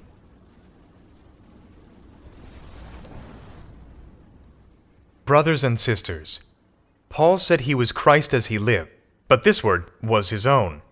The Holy Spirit didn't testify to that, nor did Lord Jesus say such a thing. Neither did other apostles testify that Paul was Christ as he lived. There's no way to make that assertion based on Paul's words. None of the ancient saints and prophets dared claim they were Christ as they lived. Only Paul dared to say it. From this, we can see his unreasonable arrogance. In the age of grace, the Holy Spirit testified the Lord Jesus as Christ. The redemptive work of the Lord Jesus, the disposition he expressed, and all that he has and is completely proved his identity as the Christ, while Paul was the chief persecutor who hated the truth and resisted God. That he said he was Christ as he lived proved he didn't know Christ at all. Brothers and sisters, then what actually is Christ? And so, for the answer, we can turn to the words of Almighty God. Almighty God says, God incarnate is called Christ. Christ is the flesh the Spirit of God is clothed with. And this flesh is different from any fleshly man. The difference is because Christ is not of the flesh, but is the embodiment of the Spirit. He has a normal humanity and full divinity. And his divinity is something that no man possesses. His normal humanity is for maintaining all of his normal activities in the flesh. And his divinity is for doing God's own work. Both his humanity and his divinity obey the will of the Heavenly Father. The substance of Christ is the Spirit that is divinity. And so, his substance is the substance of God Himself. God become flesh is called Christ. And so, the Christ that can give people the truth is called God. There is nothing excessive about this, for he possesses the substance of God, and possesses God's disposition and wisdom in his work that are unattainable by man. Those who call themselves Christ, yet cannot do the work of God, are frauds. Christ is not merely the manifestation of God on earth, but instead the particular flesh assumed by God as he carries out and completes his work among man. This flesh is not one that can be replaced by just any man, but one that can adequately bear God's work on earth and express the disposition of God and well represent God and provide man with life. From God's words, we can see that only God incarnate is called Christ. Christ is God's Spirit realized in the flesh. Christ is the appearance of God and is God made flesh to do his own work. So, Christ is God. Christ can give man the truth, and provide man with life, and can express God's righteous disposition and his working wisdom. Christ is the holy, righteous God himself. The life of Christ is inborn. Christ is born God incarnate. No man can become Christ by practicing his faith in the Lord. Born as Christ, he is Christ forever. Not born as Christ, one can never become Christ. No matter how people pursue the truth, they can never become Christ. The life of Christ is something that no created being and non created being can possess or achieve. Paul said he was Christ as he lived. But did he possess God's disposition and all that he has and is? Could he express the truth to save man? If he possessed the life of Christ, then why did he sin and resist Jesus? Paul admitted himself that he was a chief sinner. How can a chief sinner be Christ as he lived? Isn't this blasphemy? Even if someone suffers and labors, can they become Christ? Isn't this a fallacy? Paul was the chief persecutor who resisted Christ. This is widely known. Yet in his later years, he testified that he was Christ as he lived, in an attempt to take the place of Jesus Christ.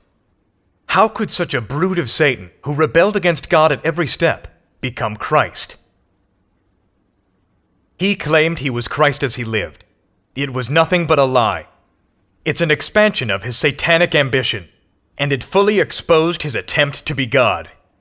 He wanted to supplant Christ's place in people's hearts, which makes his Antichrist nature abundantly clear.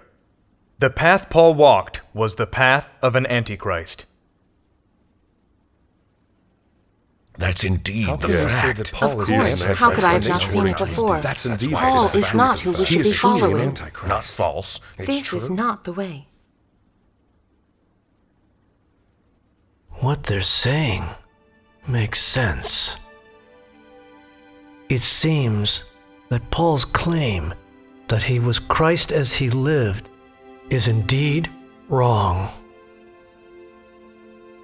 Paul's pursuit wasn't after God's heart, but. But Paul suffered so much in his labor and ministry. Was all that suffering in vain? Oh Lord.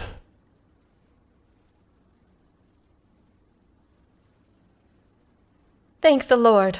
The Holy Spirit's inspiration is in your fellowship today. I understand what Christ is, and I have learned about Paul's substance. I have learned so much today. Paul is not Christ, and his claim that he was Christ as he lived is so arrogant. Yes, Christ is the appearance of God and is God himself.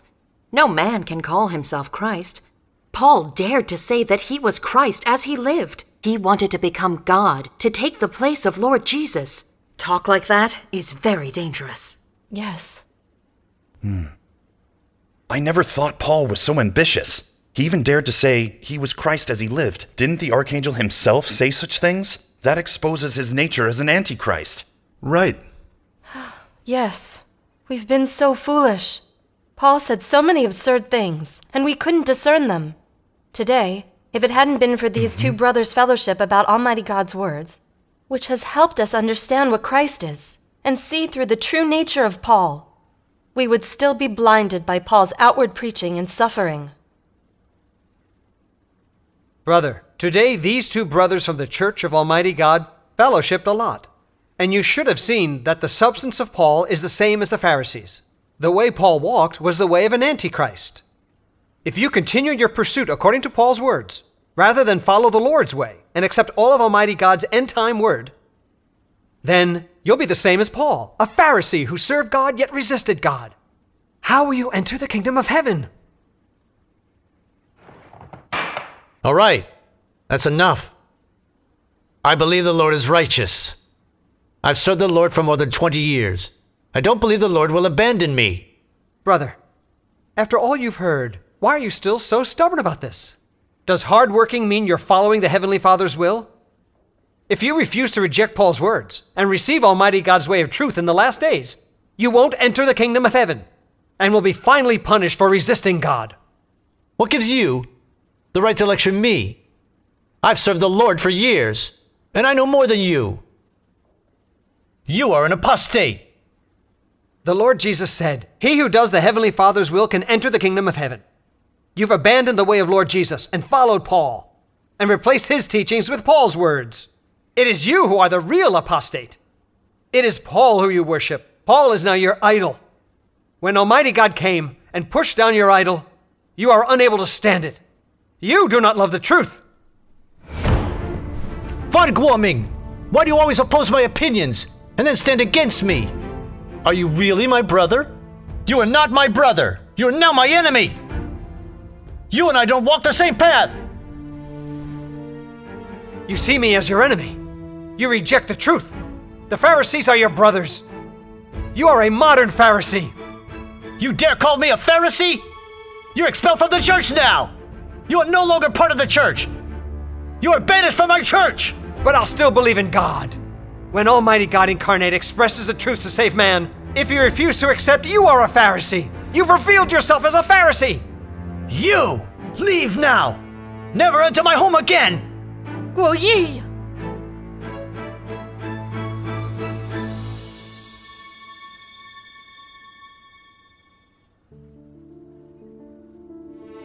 Fan Guoyi, you expelled Guo Ming from the church. Is this how you follow the Lord's teachings? You are far too arbitrary. It seems you are the ruler of the church, expelling whoever you want. Is there still a place for the Lord in your heart? Is there a shred of fear for God? Guoming is an apostate. He betrayed Lord Jesus, so I must expel him. And I won't just expel him, I will draw a line between us. He is not my brother. He's an apostate? How can you say that? Guo Ming's fellowship was all about how to do the Heavenly Father's will. This fully conforms to the Lord's way. How can he be an apostate? A wild accusation! A wild accusation? I've served the Lord for over 20 years. Paul is always the example I follow. But he, he said today that Paul hated the truth. He made an enemy of God. And that Paul was a hypocritical Pharisee. you. Paul is just an apostle. He is not God incarnate. And his words are not the truth.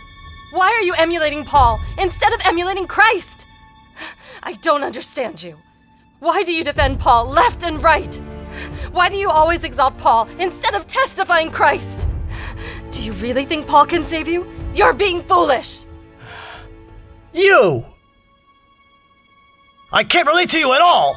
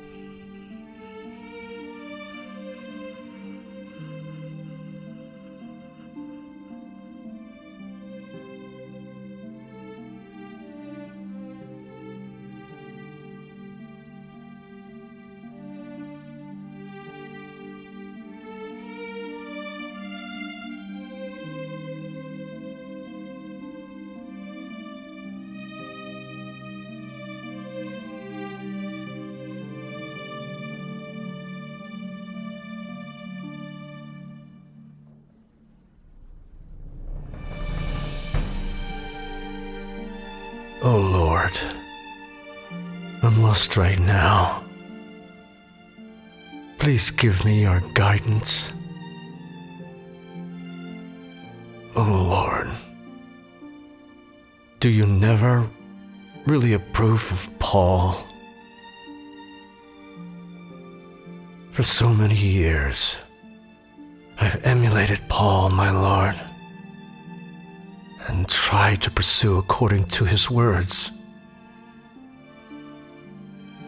Have I been believing in God in the wrong way all this time? Oh Lord, is being saved through faith enough to enter the kingdom of heaven? What does it mean to be saved? What is entering the kingdom of heaven? What kind of people can enter the kingdom of heaven? Oh Lord, I don't understand any of this. I beg for your inspiration. Please show me the way forward. Oh Lord.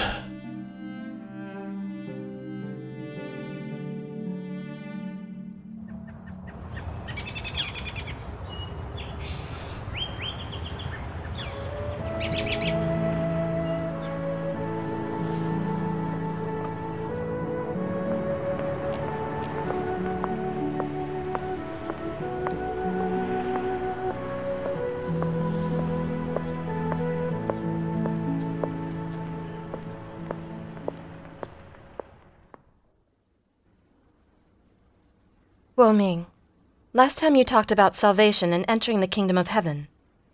Your brother wasn't able to accept it. But to me, it's in accordance with the truth. And it sounds so right. I've always wanted to understand these things. So I made time to come over here today. So we could discuss it some more. Thank God. Sister, Guoming and I had wanted to go to your house to discuss this with you.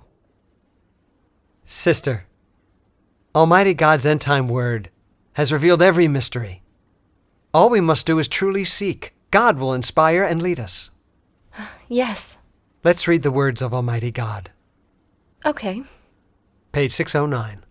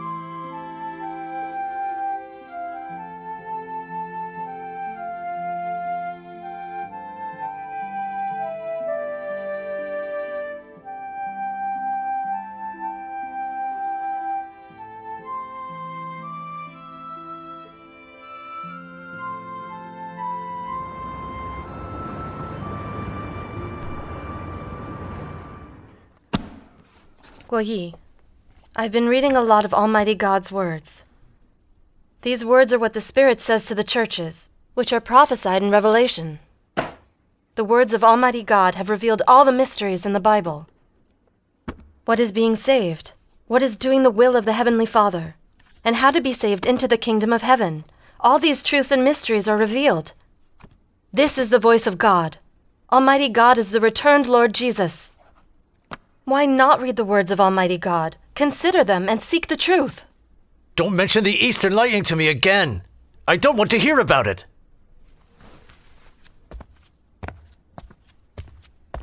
Guo Yi, why aren't you seeking the truth at all? Do you know the consequences if you go on believing like this? You refuse to investigate it. You prevent the flock from returning to Almighty God. You are the ferocious tenant the Lord Jesus spoke of, the evil servant. Don't you know that?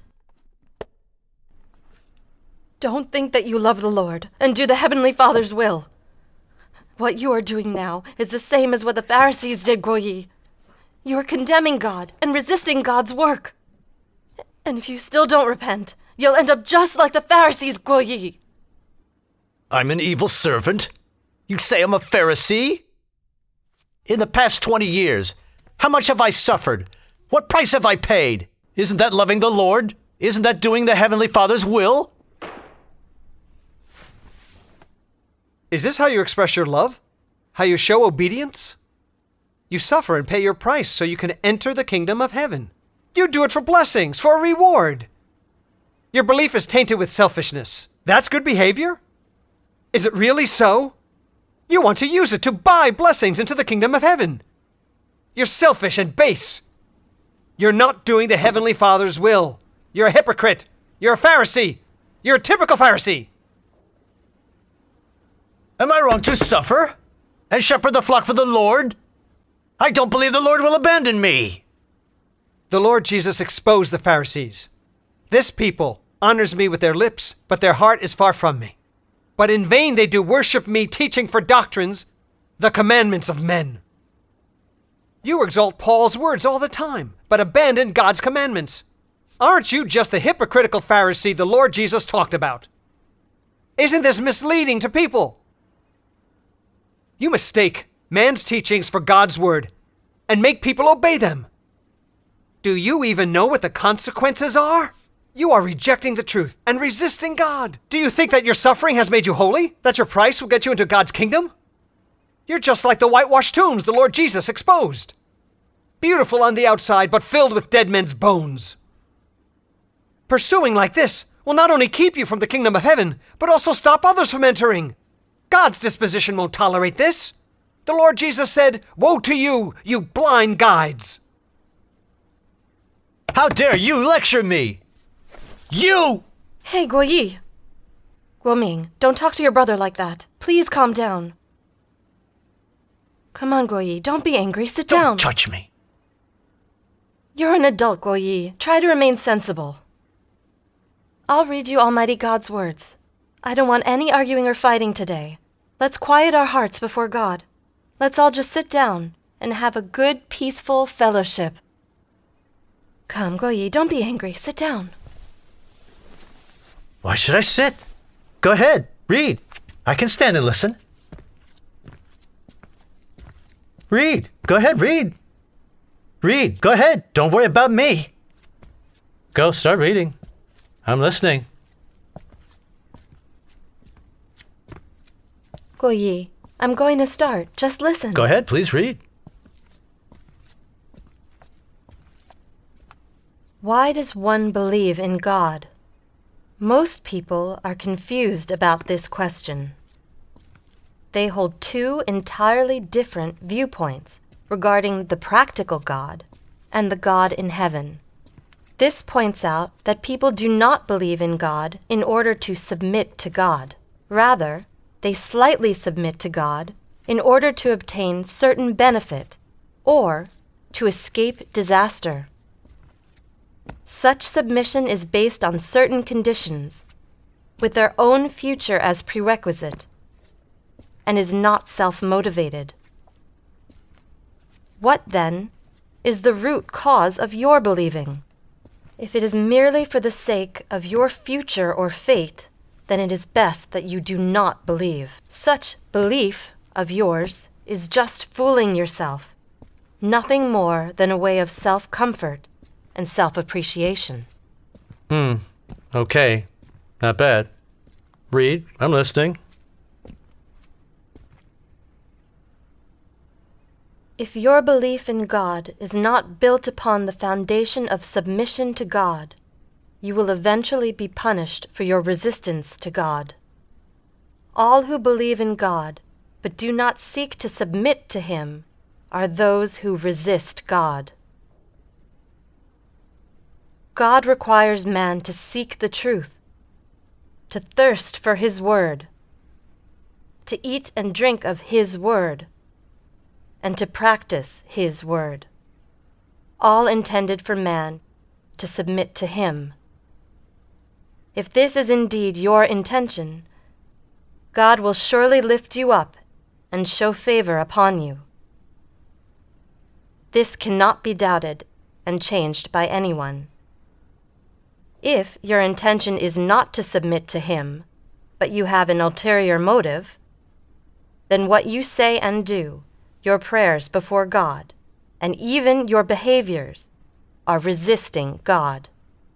Even if you speak tenderly, act with a mild manner, your actions and expressions appear appropriate to others, and you give an impression that you submit.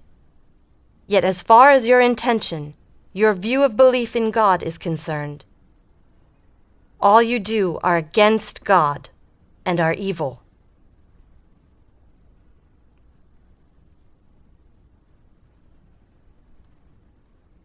Outwardly, you are submissive like a lamb, but you are evil minded. Such a person is wolf in sheepskin, and he offends God directly. Hey, you see? Ha! Almighty God has explained things so clearly. He doesn't need to lecture people. Now, you too. All you do is lecture and argue with me every day. You're always on the attack. How can I take in anything? You're always lecturing me. How can I keep calm? You see, look how nicely Almighty God explained it. So reasonable. And you too. Why should I listen to your yelling? Does this mean you admit they're the words of God? There! What are you talking about? When did I not admit it? When have I ever said they weren't God's words? You two never understand me. You pin on for labels on me. Oh my, it took a while, but you finally said something sensible.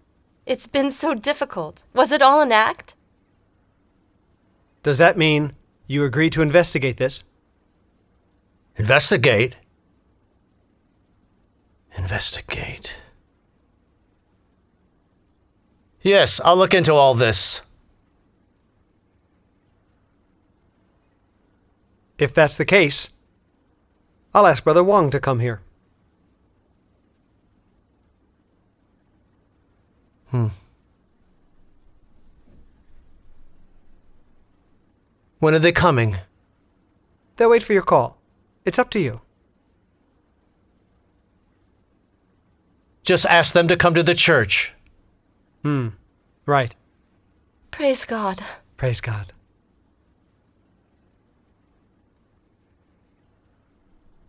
Hopefully fellowship My with us fellowship next time. together.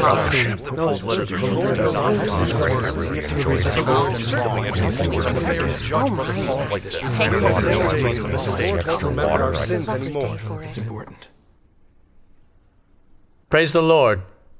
Co workers, today I have gathered you here for another fellowship about being saved and entering the kingdom of heaven. We've fellowshipped several times before, but some of us had different interpretations. Today, I've invited two brothers from the Church of Almighty God to fellowship together with us. Guoming, introduce them to the brothers and sisters. Hmm. Praise God. Let me introduce these two brothers. This is Brother Wong. Praise God for giving us this great opportunity. We're so glad to fellowship with you all today. Thank the Lord. And this is Brother John. Brothers and sisters, nice to meet you. Thank the Lord. Thank the Lord. Please sit. My co workers, let us fellowship our different ideas about being saved and entering the kingdom of heaven. Brothers and sisters, this very important topic is clearly explained in the Bible. For with the heart man believes to righteousness, and with the mouth confession is made to salvation. Amen. We have been saved through our faith in Jesus Christ. Remember, once saved, always saved. When he comes, we will enter the kingdom of heaven. Amen. We were saved when we accepted the Lord's salvation. Once saved, always saved. This is how we'll enter the kingdom of heaven. Amen. Brothers and sisters, here's my view on being saved and entering the kingdom of heaven. Once saved, one is always saved and will enter the kingdom of heaven. This is how we interpret God's work. But it is totally against God's word. Lord Jesus never said one can enter the kingdom of heaven after being saved by faith, but that only he who does the will of the heavenly Father will enter. Only the word of Lord Jesus is the authority and the truth. Man's imagination is not the truth, not the standard of entering the kingdom of heaven. Brothers and sisters, we say that we are saved by faith, But being saved only means our sins are forgiven. We won't be condemned or put to death by the law. It doesn't mean that we can follow God's way, break away from sin, and be holy, nor that we can enter the kingdom of heaven. We are forgiven of our sins by faith, but the sins still remain. We can still sin and resist God, living in a circle of sinning and confessing. How can such people enter the kingdom of heaven? The Bible says, Holiness without which no man shall see the Lord. If a habitual sinner can enter the kingdom of heaven, it's against the real situation in heaven. Do we dare say there are filthy and corrupt habitual sinners in the kingdom of heaven? Have we ever heard of a filthy, evil person in the kingdom of heaven? The Lord is righteous and holy. Would he let a habitual sinner into the kingdom of heaven? Jesus once said, Truly, truly, I say to you, whoever commits sin is the servant of sin, and the servant stays not in the house forever, but the Son stays ever. Therefore, people bound by sin and who aren't holy can't enter the kingdom of heaven. If they can enter because they're saved by faith, then why did the Lord Jesus say, Not everyone that said to me, Lord, Lord, shall enter into the kingdom of heaven, but he that does the will of my Father which is in heaven? Why did he say he would separate sheep from goats and tares from wheat? Therefore, entering the kingdom of heaven after being saved by faith is untenable. This point of view contradicts the word of the Lord Jesus. Look, this is very simple. The Lord Jesus' salvation is like a rope. If we hold onto it tightly, we'll surely be brought into the kingdom of heaven. You don't have such faith. Are you worthy of getting in? Amen. That's right. We'll just rely on the Lord's salvation. By His grace alone, we'll enter the kingdom of heaven. Amen. That's right. Brother Long, Sister Liu, I think you're wrong. We used to think we can enter the kingdom of heaven once we're saved, but after their fellowship, I feel it doesn't reflect the words of our Lord Jesus. The Lord Jesus actually never said anything like that. This is just man's hope and our imagination. Brother Lang, Sister Liu, being saved is not the criteria. We still sin often and are not worthy to enter. The Lord said only he who does the will of the Heavenly Father can enter. Perhaps this idea isn't as simple as we had imagined after all. It is said in the Bible, Who shall lay anything to the charge of God's elect? It is God that justifies. Who is he that condemns? Amen. Amen. This proves that the Lord Jesus has forgiven all our sins through his crucifixion. The Lord doesn't regard us as sinful. Then who can accuse us? Amen. Brothers and sisters, the Bible says, Who shall lay anything to the charge of God's elect? But we must be very clear. Who are the ones chosen by God? Those habitual sinners? Traitors? Those who steal from the offering? Fornicators? The fearful? And the hypocritical Pharisees? Are they the ones chosen by God? If anyone who believes in God is one he has chosen, then for the words in Revelation, for without are dogs, and sorcerers, and fornicators, and murderers, and idolaters, and whoever loves and makes a lie. How do we? Explain it. Therefore, not everyone who believes in God is chosen by God. Only those who truly serve the Lord and love God and have real testimony are ones chosen by Him. For example, Abraham, Job, and Peter are those who obeyed and feared God. They have righteous deeds and testimonies. They were approved by God. No one could accuse them. Yet when did God call all believers righteous? Most people often sin, resist, and betray God. This is a fact. Lord Jesus never called most of his believers righteous. And so, those chosen by God refers to those who do righteous deeds and can follow God's will. I can't agree with what you've said. The Bible says, There is therefore now no condemnation to them which are in Christ Jesus. By faith in Jesus Christ, we are no longer condemned, and will enter the kingdom of heaven. Amen. Right. Whomever believes in Jesus will not be condemned. We will enter God's kingdom. Amen. Brother, we like to think our belief in Jesus Christ means we are already in Him. This is our notion. In Christ Jesus doesn't refer to all believers in the Lord Jesus. Actually, most of them are not approved by God. Just as the Lord said, Many are called, but few are chosen. Among those who are not chosen, some of them only eat the loaves and are filled. Some never love the truth, much less practice the truth.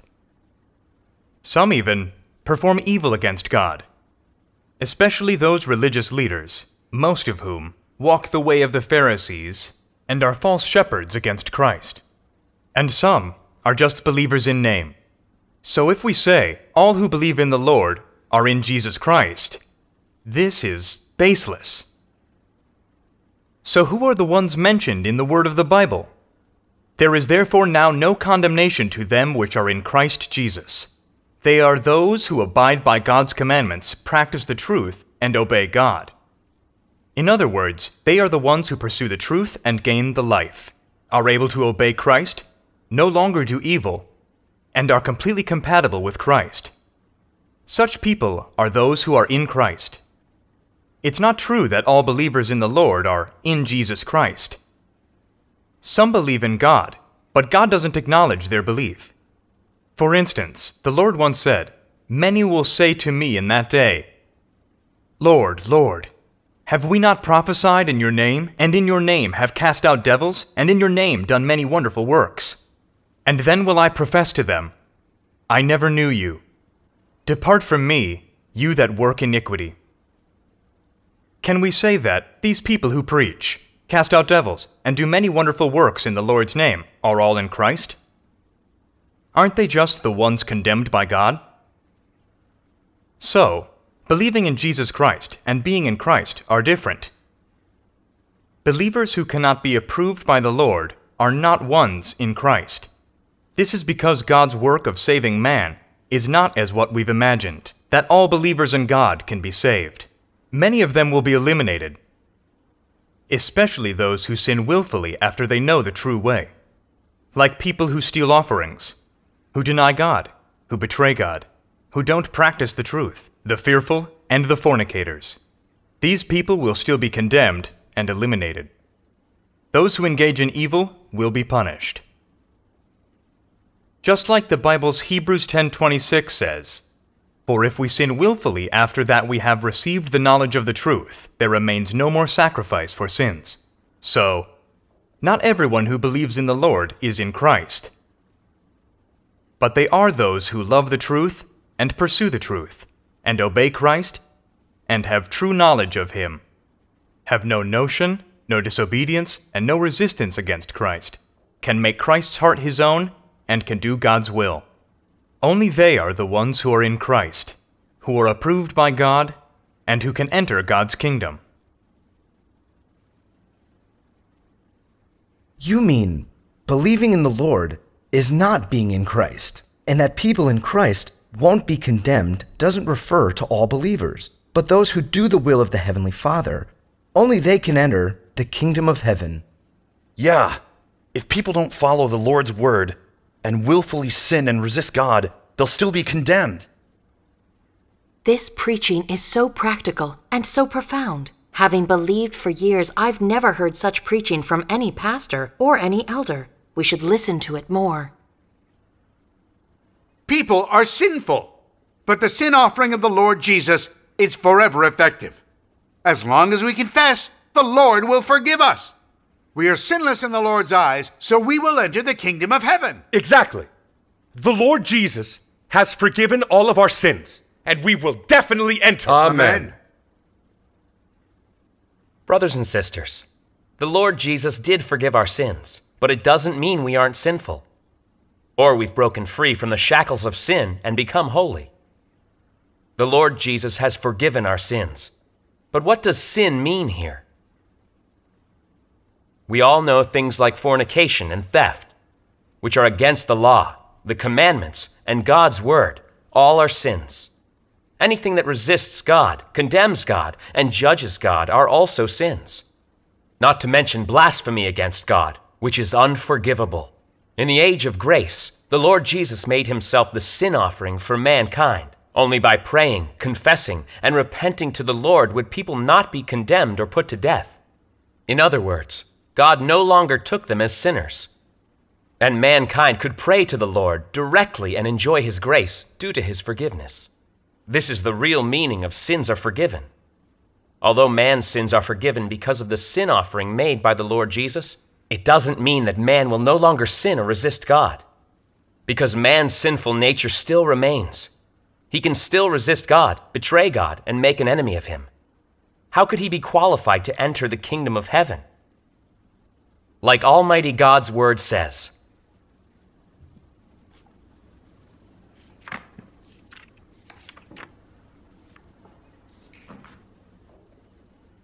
Can you, a sinner who has just been redeemed, be after God's heart without having been transformed and perfected by Him? It is true that you, who are an old man, have been saved by Jesus.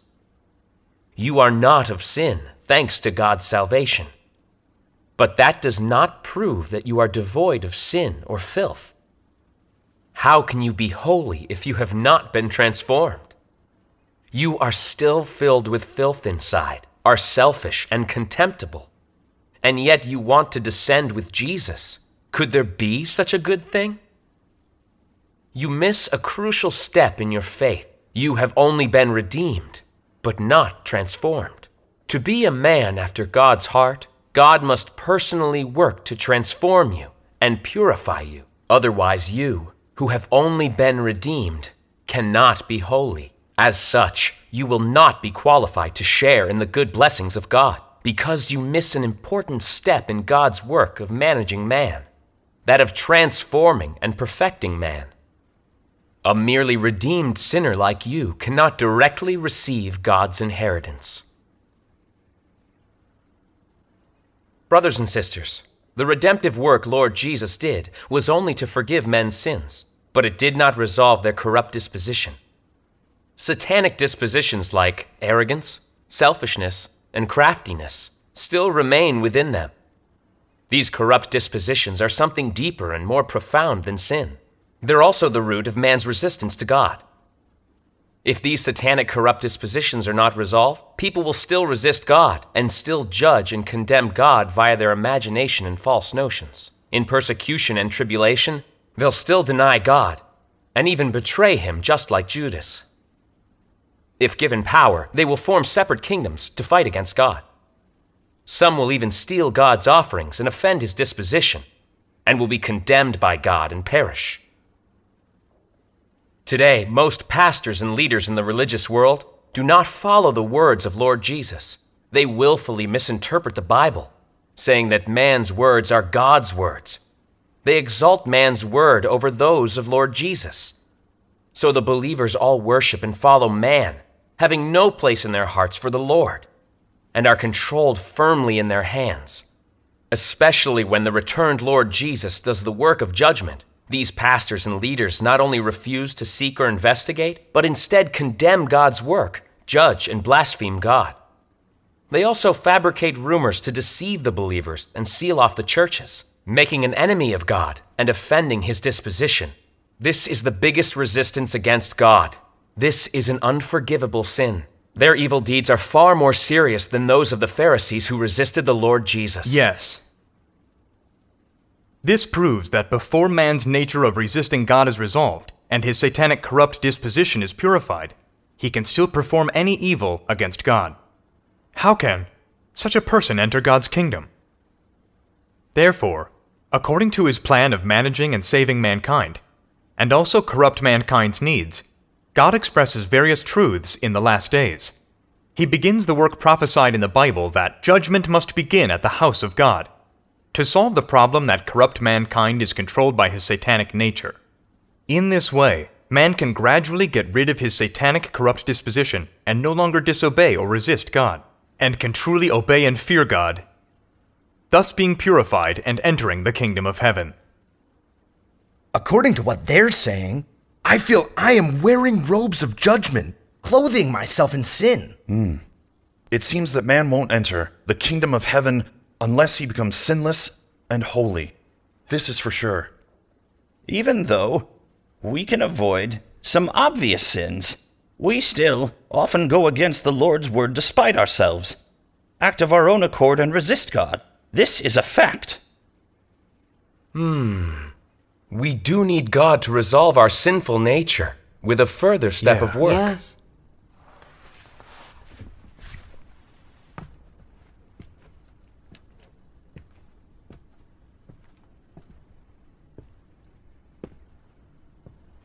Brothers and sisters, the Lord Jesus just did the work of redemption. So, in the age of grace, no matter how much people read the Bible or pursued, they were in the bondage of sin and couldn't become holy. According to his steps of managing and saving mankind, God predestined in the last days that judgment begins at God's house to purify and transform men, to free them from sin and become holy. Let's read a paragraph of Almighty God's Word. Almighty God says, Though Jesus did much work among man, he only completed the redemption of all mankind and became man's sin offering, and did not rid man of all his corrupt disposition. Fully saving man from the influence of Satan not only required Jesus to take on the sins of man as the sin offering, but also required God to do greater work to completely rid man of his disposition, which has been corrupted by Satan. And so, after man was forgiven his sins, God returned to flesh to lead man into the new age, and began the work of chastisement and judgment, which brought man to a higher realm. All those who submit under his dominion shall enjoy higher truth and receive greater blessings they shall truly live in the light, and shall gain the truth, the way, and the life. Through the sin offering, man has been forgiven his sins. For the work of the crucifixion has already come to an end, and God has prevailed over Satan. But the corrupt disposition of man still remains within them, and man can still sin and resist God. God has not gained mankind. That is why, in this stage of work, God uses the Word to reveal the corrupt disposition of man and asks man to practice in accordance with the right path.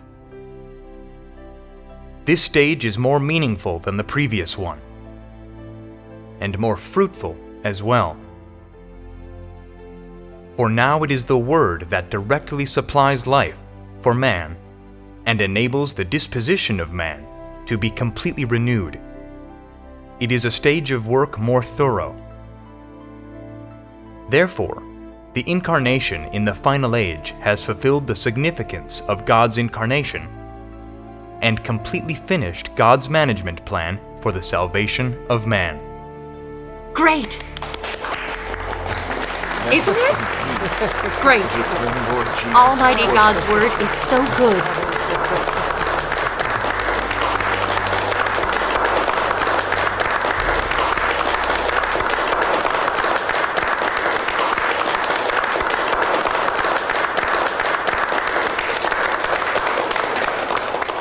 From God's Word, we can see that the Lord Jesus' redemption lays a foundation of God's end time salvation. And the end time judgment is the core and emphasis of God's work of salvation. It's the most crucial and important work for saving mankind. Our experience of God's work in the age of grace can only make our sins forgiven, but can't help us out of sin to achieve holiness. Only God's end time judgment can work all the truths mankind needs into them. So that they can truly know God, have their disposition transformed, and become a mankind who can obey God, worship God, and be after God's heart. Thus ends God's management plan of saving mankind. Their preaching is irrefutable. The Eastern Lightning really does have the truth. Brother, the more I hear, the more I feel. These words are good. Can I read Almighty God's word? Sure. Praise God. Praise God. Brother, Almighty God's word is good. Is it okay for me to read his word? I want to read too. Glory to God. Glory to God. Almighty God's word will be given freely to those who hunger and thirst for righteousness. I want one too. Me too. Brother, I'd like to read too. Guoyi. Almighty God's word is the truth. Please read. Hmm. I was thinking about it. Praise God. Brother, please give me a copy. Thank God. Thank God. We were hoping you'd ask. Thank God. This is great. Brother Fan. I now see the authority of Almighty God's word. It really can conquer man. It's This so is really God's wonderful. uplifting. Yeah, thank God. Thank the Lord.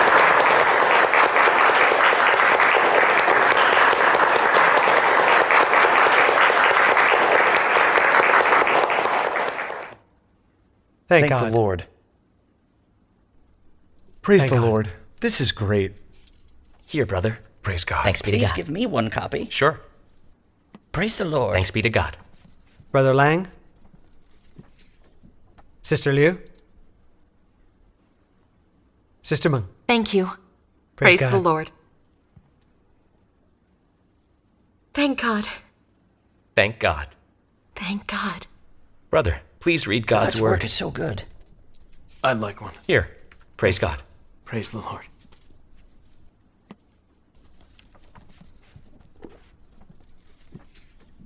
Brother, I have one question. You said that for man to break free from sin and become holy, he must accept God's end time judgment. Then how does God judge and purify man in the last days? Yeah. How does God work to purify man? For many years I have often wondered. What a joy to be without sin. Then life wouldn't be painful.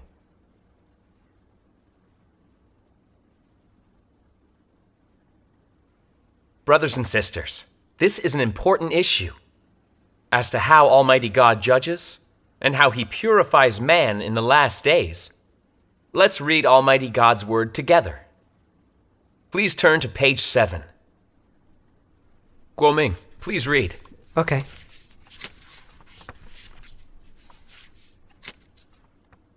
When God becomes flesh this time, his work will be to express his disposition, primarily through chastisement and judgment. Using this as the foundation, he brings more truth to man, shows more ways of practice, and so achieves his objective of conquering man and saving man from his corrupt disposition. This is what lies behind the work of God in the age of kingdom. In the last days, Christ uses a variety of truths to teach man, reveal the essence of man, and dissect his words and deeds. These words comprise various truths, such as man's duty, how man should obey God, how man should be loyal to God, how man ought to live out the normal humanity, as well as the wisdom and disposition of God, and so on. These words are all focused on the essence of man and his corrupt disposition. In particular, those words that reveal how man spurns God are spoken in regards to how man is an embodiment of Satan and an enemy force against God. When God does the work of judgment, he does not simply make clear the nature of man with just a few words, but reveals, deals with, and prunes over the long term. Such manner of revelation, dealing, and pruning cannot be substituted with ordinary words, but with the truth that man does not possess at all. Only such manner of work is deemed judgment. Only through such judgment can man be persuaded. be thoroughly convinced into submission to God, and gain true knowledge of God. What the work of judgment brings about is man's understanding of the true face of God and the truth about his rebelliousness. The work of judgment allows man to gain much understanding of the will of God, of the purpose of God's work, and of the mysteries that could not be understood by man. It also allows man to recognize and know his corrupt substance and the roots of his corruption, as well as to discover the ugliness of man. These effects are all brought about by the work of judgment. For the substance of such work is actually the work of opening up the truth, way, and life of God to all those who have faith in Him. This work is the work of judgment done by God. Through this work of judgment and chastisement, man will fully come to know the substance of filth and corruption within him, and he will be able to completely change and become clean. Only in this way can man be worthy to return before the throne of God. All the work done this day is so that man can be made clean and be changed.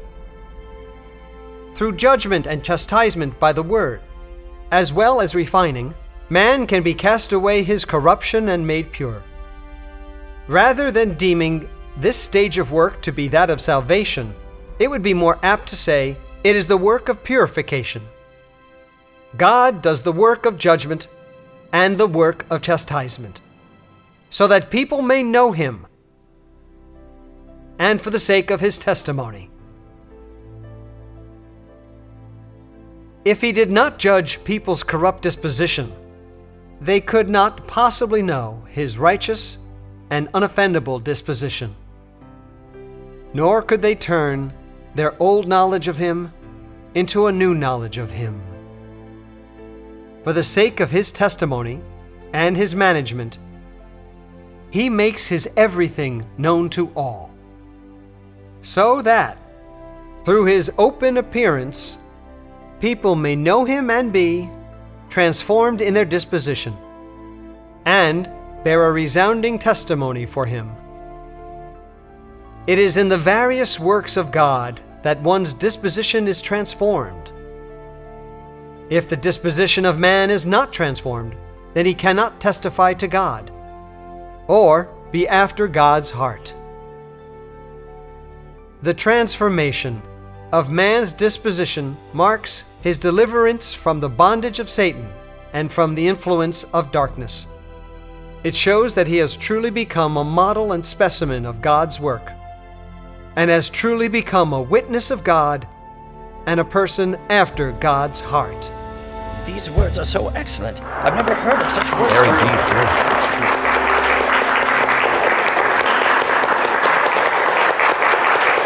Brothers and sisters, brothers and sisters, in the last days, God expresses the truth to judge and chastise corrupt mankind. All the words God judges man with are the expression of his righteous disposition, what he has and what he is, and the words that can be man's life. Therefore, they are all truths. For corrupt mankind, these words of truth are judgment themselves, their chastisement, condemnation, and searching, and purification. With the word of truth, God purifies the satanic disposition within corrupt mankind and resolves their nature and substance of resisting God. This is the significance for God to purify, save, and perfect man with judgment. In the end time judgment, Almighty God expresses truth and reveals all the mysteries of God's 6,000 year management plan, and reveals the purpose of God's three stage work of salvation and the substance of each stage of work.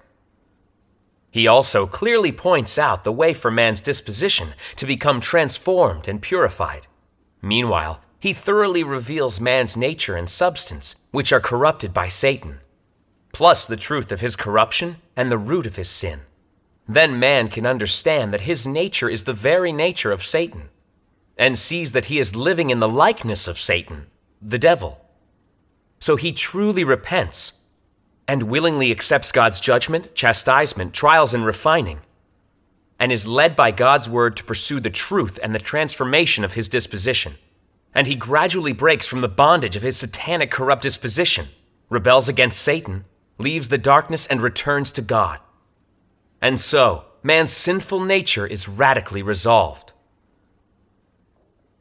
What's more, by experiencing and practicing God's Word, man gradually learns many truths, such as what is salvation, what is full salvation, what is doing God's will, what is following man's own path, what is following God, what is following man, what are Pharisees, whom God saves, and whom God eliminates. Most importantly, in the judgment and chastisement of God's Word, man learns that God's righteous disposition is not to be offended. Because of knowing God, man comes to fear God and shun evil and live by God's Word. As man understands the truth and knows God more deeply, he's more obedient to God and has more reality of practicing the truth. So man unknowingly breaks away from sin and becomes holy. This result can never be achieved in the Lord's believers who refuse to accept God's end time work. So, only by accepting the judgment and chastisement of Almighty God's end time word can man understand the truth and know God. Break away from Satan's influence, abolish his satanic disposition, and live by the truth and God's word. This is the real meaning of being saved. Thank the Lord. Almighty God's word really can transform and purify man. This is surely God's work, because only God can transform and save man. No one except God can do the work of judging and purifying man. Right. All over the world, only the Church of Almighty God testifies the Lord's return to judge and purify man. After their fellowship today, I believe Almighty God's end time work is the true way. This fulfills the Lord's prophecy. The word that I have spoken, the same shall judge him in the last day. Hmm. The Lord Jesus has already paid the price for our sins. Now God has to judge and chastise man to resolve his sinful nature? I just don't understand. Brother, we've been believers for a long time, but we always involuntarily sin and resist the Lord, living a life of sinning each day and confessing each night. Now, Almighty God has expressed the truth to purify man, to save us from the bondage of sin. But you don't have the heart to seek it. Ask yourself, is that right? Don't you desire to break free from sin? Or do you want to keep sinning and resisting the Lord?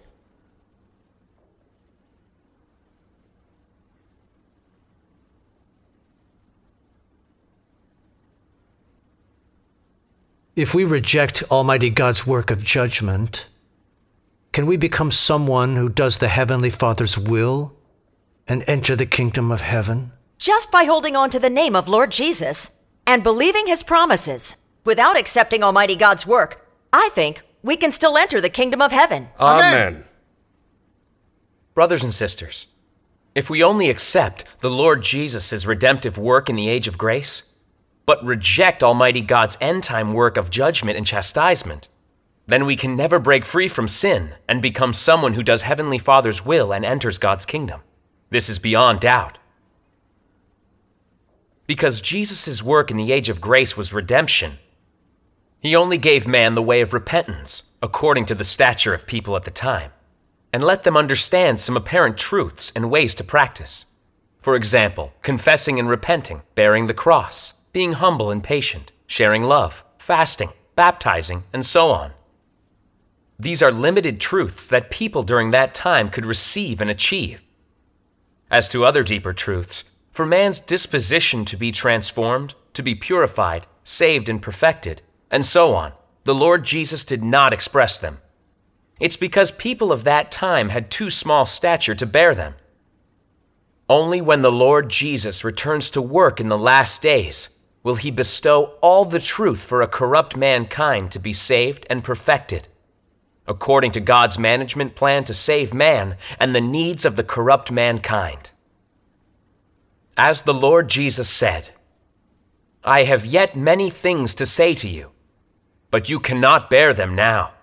However, when He, the Spirit of truth, is come, He will guide you into all truth.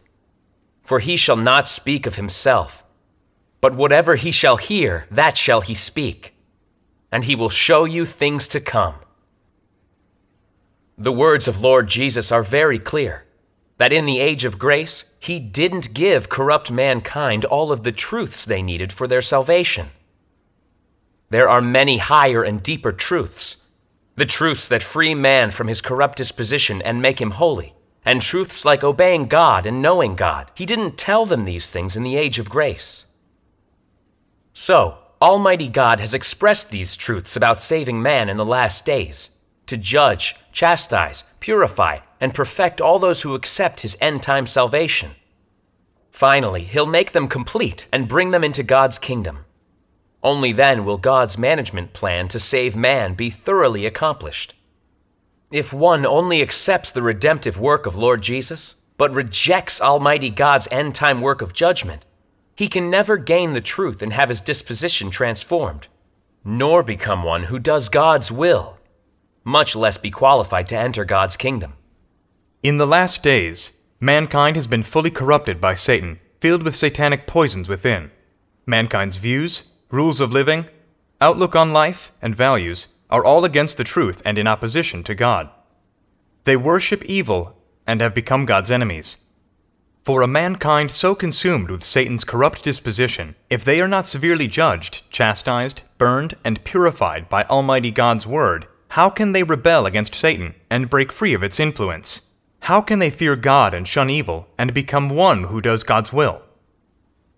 As we know, many longtime believers in the Lord passionately testify that Jesus is the Savior and labor hard for years.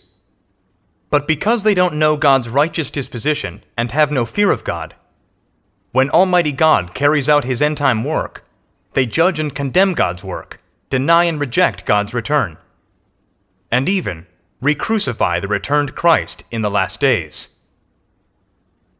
Such facts are compelling evidence that if man rejects God's end time judgment and chastisement, the root of his sinning and his satanic nature can never be resolved. And all mankind will perish because they resist God. This is an undeniable fact. While believing in God only if one accepts God's end time judgment and chastisement, can he gain the truth as his life, and become one who does the Heavenly Father's will? Can he know God and be compatible with Him? and be qualified to enjoy God's promises and be brought into His kingdom.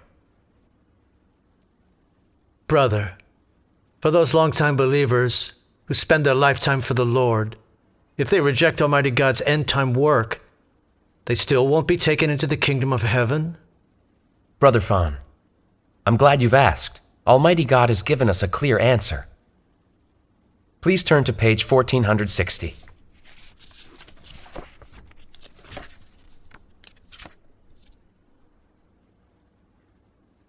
If you do not seek the way of life provided by Christ of the last days, then you shall never gain the approval of Jesus, and shall never be qualified to enter the gate of the kingdom of heaven. For you are both a puppet and prisoner of history. Those who are controlled by regulations, by letters, and shackled by history will never be able to gain life and will never be able to gain the perpetual way of life. That is because all they have is turbid water that has lain stagnant for thousands of years, instead of the water of life that flows from the throne.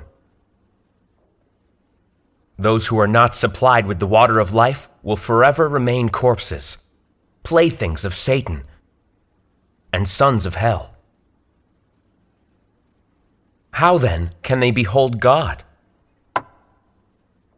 If you only try to hold on to the past, only try to keep things as they are by standing still, and do not try to change the status quo and discard history, then will you not always be against God?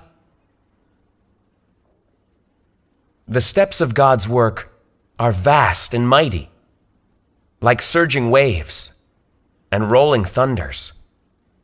Yet you sit and passively await destruction, sticking to your folly and doing nothing. In this way, how can you be considered someone who follows in the footsteps of the Lamb? How can you justify the God that you hold on to as a God who is always new and never old? And how can the words of your yellowed books carry you across the threshold of new age? How can they lead you to seek the steps of God's work? And how can they take you up to heaven? What you hold in your hands are the letters that can provide but temporary solace, not the truths that are capable of giving life. The scriptures you read are that which can only enrich your tongue, not words of wisdom that can help you know human life, much less the ways that can lead you to perfection. Does this discrepancy not give you cause for reflection?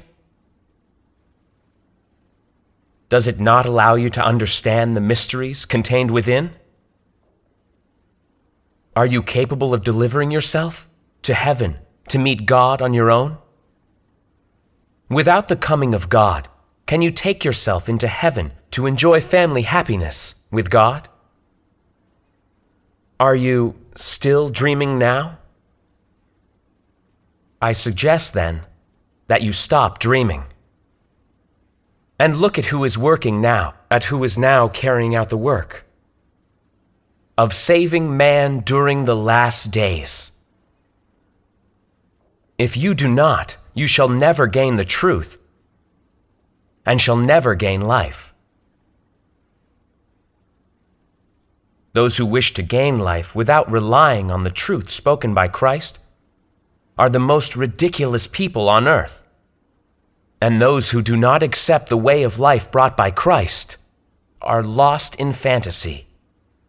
And so I say that the people who do not accept Christ of the last days shall forever be despised by God. Christ is man's gateway to the kingdom during the last days, which none may bypass. None may be perfected by God except through Christ. You believe in God, and so you must accept His words and obey His way. You must not just think of gaining blessings without receiving the truth or accepting the provision of life.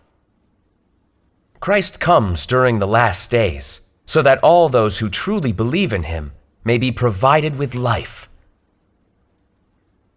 His work is for the sake of concluding the old age and entering the new one, and is the path that must be taken by all those who would enter the new age. If you are incapable of acknowledging this and instead condemn, blaspheme, or even persecute him, then you are bound to burn for eternity and shall never enter the kingdom of God. Yeah, he's right. Yeah, absolutely. God's yes. words really carry authority. Mm-hmm. Almighty God's words are truly the words of God's judgment on man. Every word carries authority and majesty, makes man convinced and fearful. Almighty God's words are indeed the truth and can transform man. This is the way to be saved and to enter the kingdom of heaven. Brothers and sisters, Christ of the last days, Almighty God, has brought mankind the real way to eternal life. Almighty God is the Christ who appears in the last days, and He is man's gateway to the kingdom of heaven, which no one can bypass. Only if we accept the truth expressed by Almighty God can we gain life and do God's will and be brought into the kingdom of heaven and receive God's end time salvation, just like what's written in Peter 1. Who are kept by the power of God through faith to salvation, ready to be revealed in the last time. Praise the Lord. Now I understand. Almighty God has brought us the real way of eternal life and the practical way to enter the kingdom of heaven. Only if we accept Almighty God's way of eternal life can we become someone who does the Heavenly Father's will and enter the kingdom of heaven. Yeah. Before, we mistook the apostles' words as truth, thinking that we could be saved by faith and enter the kingdom of heaven. Now I find that it's just unrealistic. If we reject Almighty God's way of eternal life and receive no truth or life from God, how can we enter the kingdom of heaven? We fail to keep pace with the Lamb's footsteps and stick to the words of the Bible. So, how can we receive the living water and his provision of life? No wonder our belief has come to a dead end. We have actually been divorced from God's work. Of course. We've been lost at sea, following the wrong directions. Thank the Lord. You all are right. As believers for many years, we've longed to enter the kingdom of heaven. Although we know Lord Jesus said, only those who do the will of the Heavenly Father can enter the kingdom of heaven. None of us knew the true meaning. Only the truth expressed by Christ of the last days, Almighty God, shows us the way to enter the kingdom of heaven, reveals to us the Heavenly Father's will, and uncovers all of the mysteries. So we understand many truths and have a more practical and accurate goal of pursuit. Brothers and sisters, Almighty God is a returned Lord Jesus. All the words of Almighty God are the truth, the Holy Spirit's expression, God's voice. We are so honored to receive the way of eternal life brought by Almighty God. This is God's loving grace and our blessings. We must never miss out on such an opportunity of a lifetime. Yes. Right. We are so mm-hmm. blessed. Just a minute. If we can't be taken into the kingdom of heaven, no matter how good, how high, how true your preaching is, I won't accept it. I will only hold on to the salvation of Lord Jesus. I'll just await the Lord to take me into the kingdom Amen. of heaven. You're right. We've been saved by our faith in Jesus Christ. The Lord has given us a beautiful promise. If we hold on to his name, we'll be saved by grace and enter the kingdom of heaven. Amen. Brother Fan, we don't need to listen to them. No matter how well they preach, we can't believe it. We have to hold on to the Lord's salvation. Brother Lang, Sister Liu, you both have it wrong. Doesn't man believe in God for gaining the truth in life? If we reject what we know to be the truth and stand in opposition to that, aren't we the same as the Pharisees? Mm. Oh, yes. That's exactly so. I agree. Was the truth. Brother Lang, Sister Liu, through their fellowships, I believe. Almighty God's work of expressing words to judge and purify man is God's work in the last days that judgment must begin at the house of God. And the truth that Almighty God expresses truly shows the way for man to break free of his sinful nature and be saved. We should not reject and resist God anymore. Anyone who deliberately refutes what he knows to be the truth is a Pharisee and is resisting God. You'd better quiet your heart and hear the rest of their message. Brother Wang, Brother Zhang, please continue to fellowship. Okay. If we accept Almighty God, will we enter the kingdom of heaven? To answer this, Almighty God's words make it clear. Let's first look at what Almighty God says about it. Everyone, please turn to page 1434. The return of Jesus is a great salvation for those who are capable of accepting the truth. But for those who are unable to accept the truth, it is a sign of condemnation. You should choose your own path, and should not blaspheme against the Holy Spirit and reject the truth.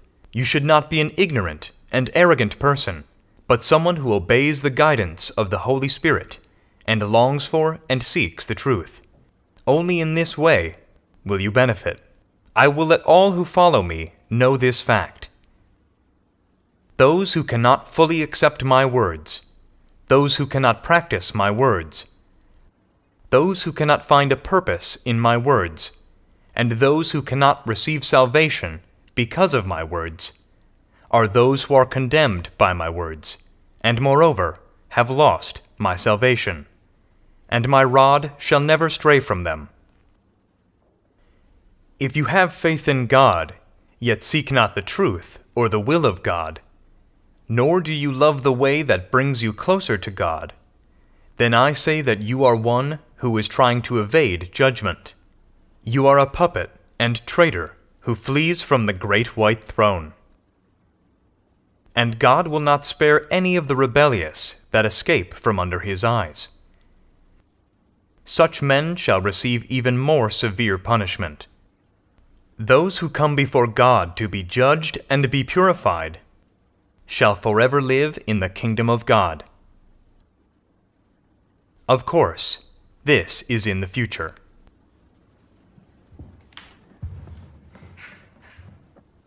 From Almighty God's words, we see that God saves man by principles. Not all those who accept Almighty God's work can be saved and enter the kingdom of heaven. Whether one can have a pleasant destination in the end depends on whether he loves the truth and pursues the truth, and whether he accepts and obeys God's judgment and chastisement, gains the truth from it, casts off his corrupt disposition, and is purified. God's judgment and chastisement in the last days is the only chance for corrupt mankind to be fully saved.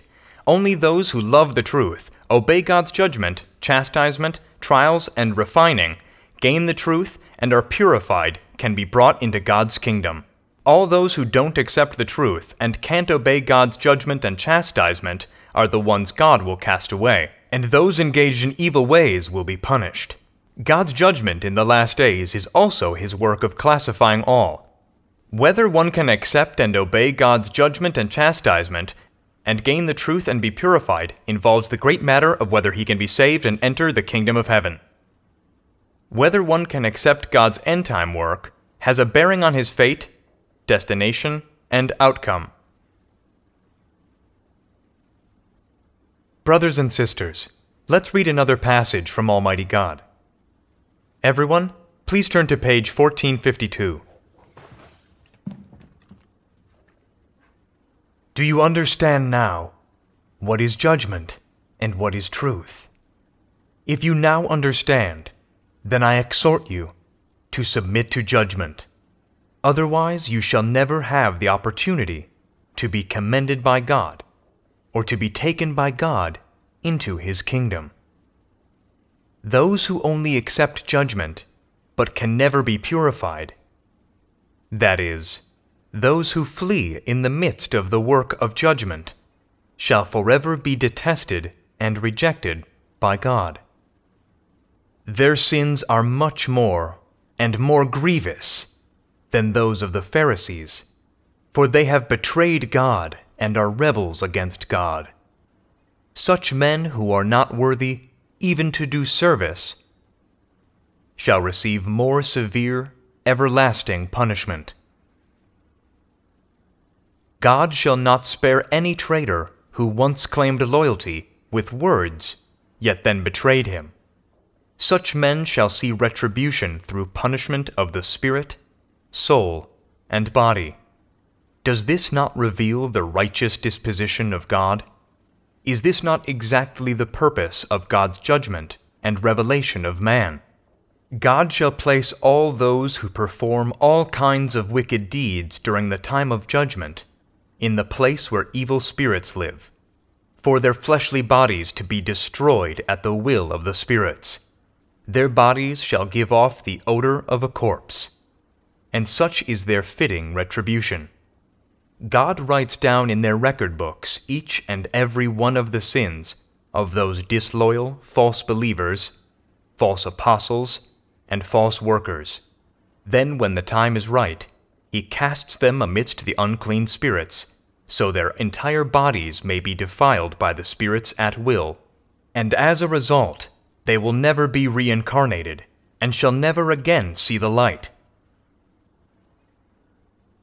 Those hypocrites who do service at one time, but are unable to remain loyal to the end, shall be numbered by God among the wicked, so that they walk in the counsel of the wicked, becoming part of the disorderly multitude. In the end, God shall destroy them.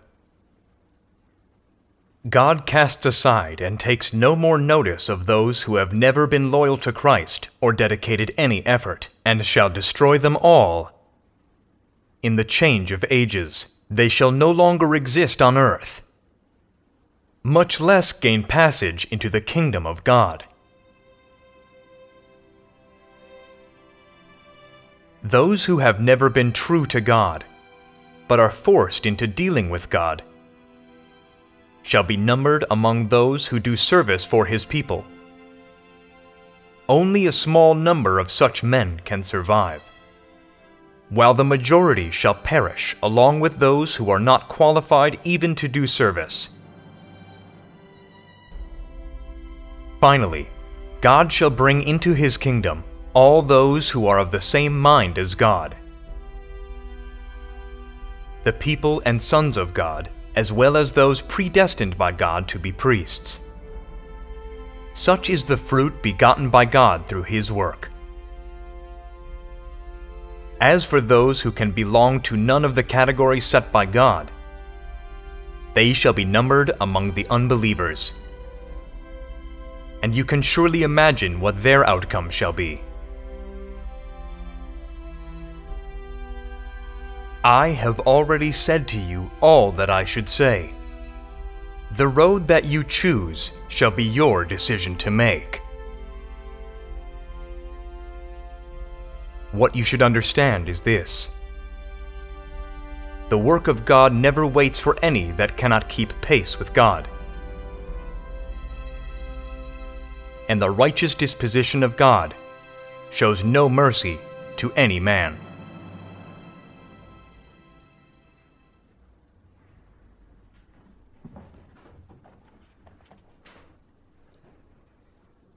Almighty God's words really carry authority and are all an expression of the truth. No one else can speak these words. This is God's voice. Through his judgment in the last days, God reveals the fate of each man and classifies them. God is truly so wise and so righteous. From the judgment and exposure of Almighty God's Word, I also see that I really engaged in evil ways. According to my actions, I deserve to be cursed by God. Thank Almighty God for His salvation.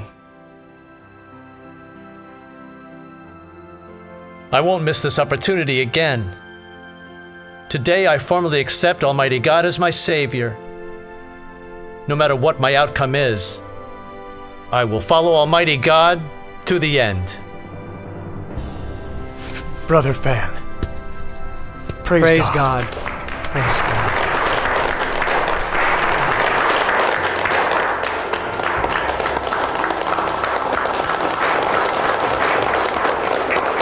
Thank God. In all my years, I've never heard such good preaching. I am supplied in my spirit. I want to follow Almighty God and be a true believer in Him. Thank the Lord. The words expressed by Almighty God are the Lord's voice. Almighty God is the Lord Jesus we have been yearning for. I can wait no more. I accept Almighty God as my Savior now. Amen. Amen. Thank the Lord. Almighty God's words are so clear. This is the true way. What are we still waiting for, everyone?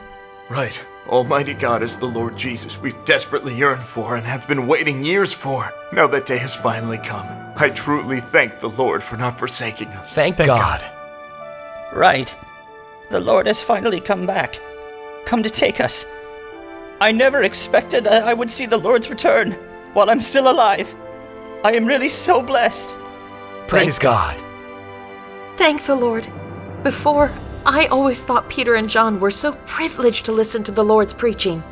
Today, I am so honored to be able to personally listen to the words and utterance of the end time Christ, Almighty God. This is the opportunity of a lifetime.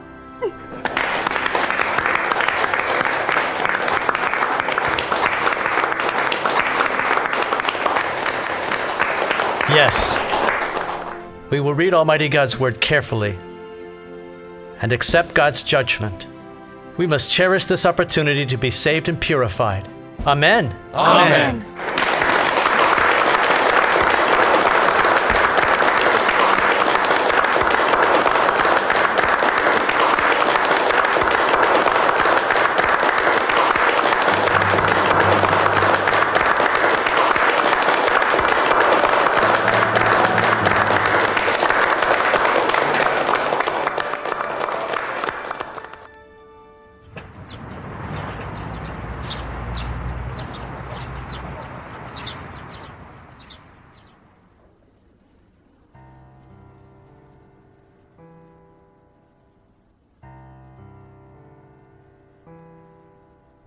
two decades of believing, I forsook everything to preach and work for the Lord.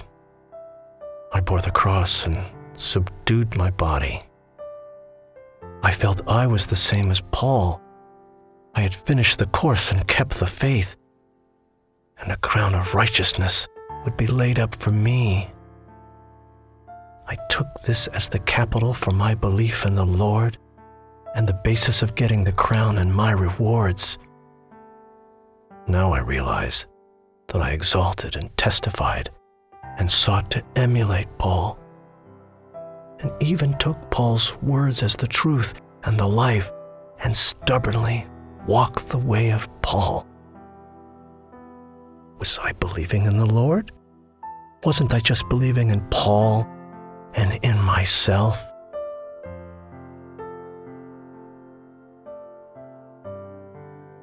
For many years, I worked hard for the Lord, fully convinced that I was His most loyal servant. But out of my expectations, I became an evil servant who led blindly. When the end time work of the returned Lord Jesus, Almighty God, came upon me, I refused to seek or investigate, and instead, I resisted and condemned it. I even hindered and restricted believers from investigating the true way and expelled those who had accepted the true way from our church. I've done so much evil. Aren't I a hypocritical Pharisee revealed in the last days? How can someone like me expect to receive rewards and enter the kingdom of heaven when the Lord comes? I can't bear to think of the past. For so many years, I exalted and testified Paul, but never exalted and testified the Lord Jesus, much less followed the Lord's word or spread his word. I walked the way of all antichrists, serving God yet opposing him. These evil deeds of opposing God pierce deep into my heart like thorns and cause me great pain. I never expected that I would welcome the Lord's appearance in such a way. I am so undeserving of the Lord. I am willing to accept the salvation of Almighty God. I will pursue the truth and make a new start to repay the love of Almighty God.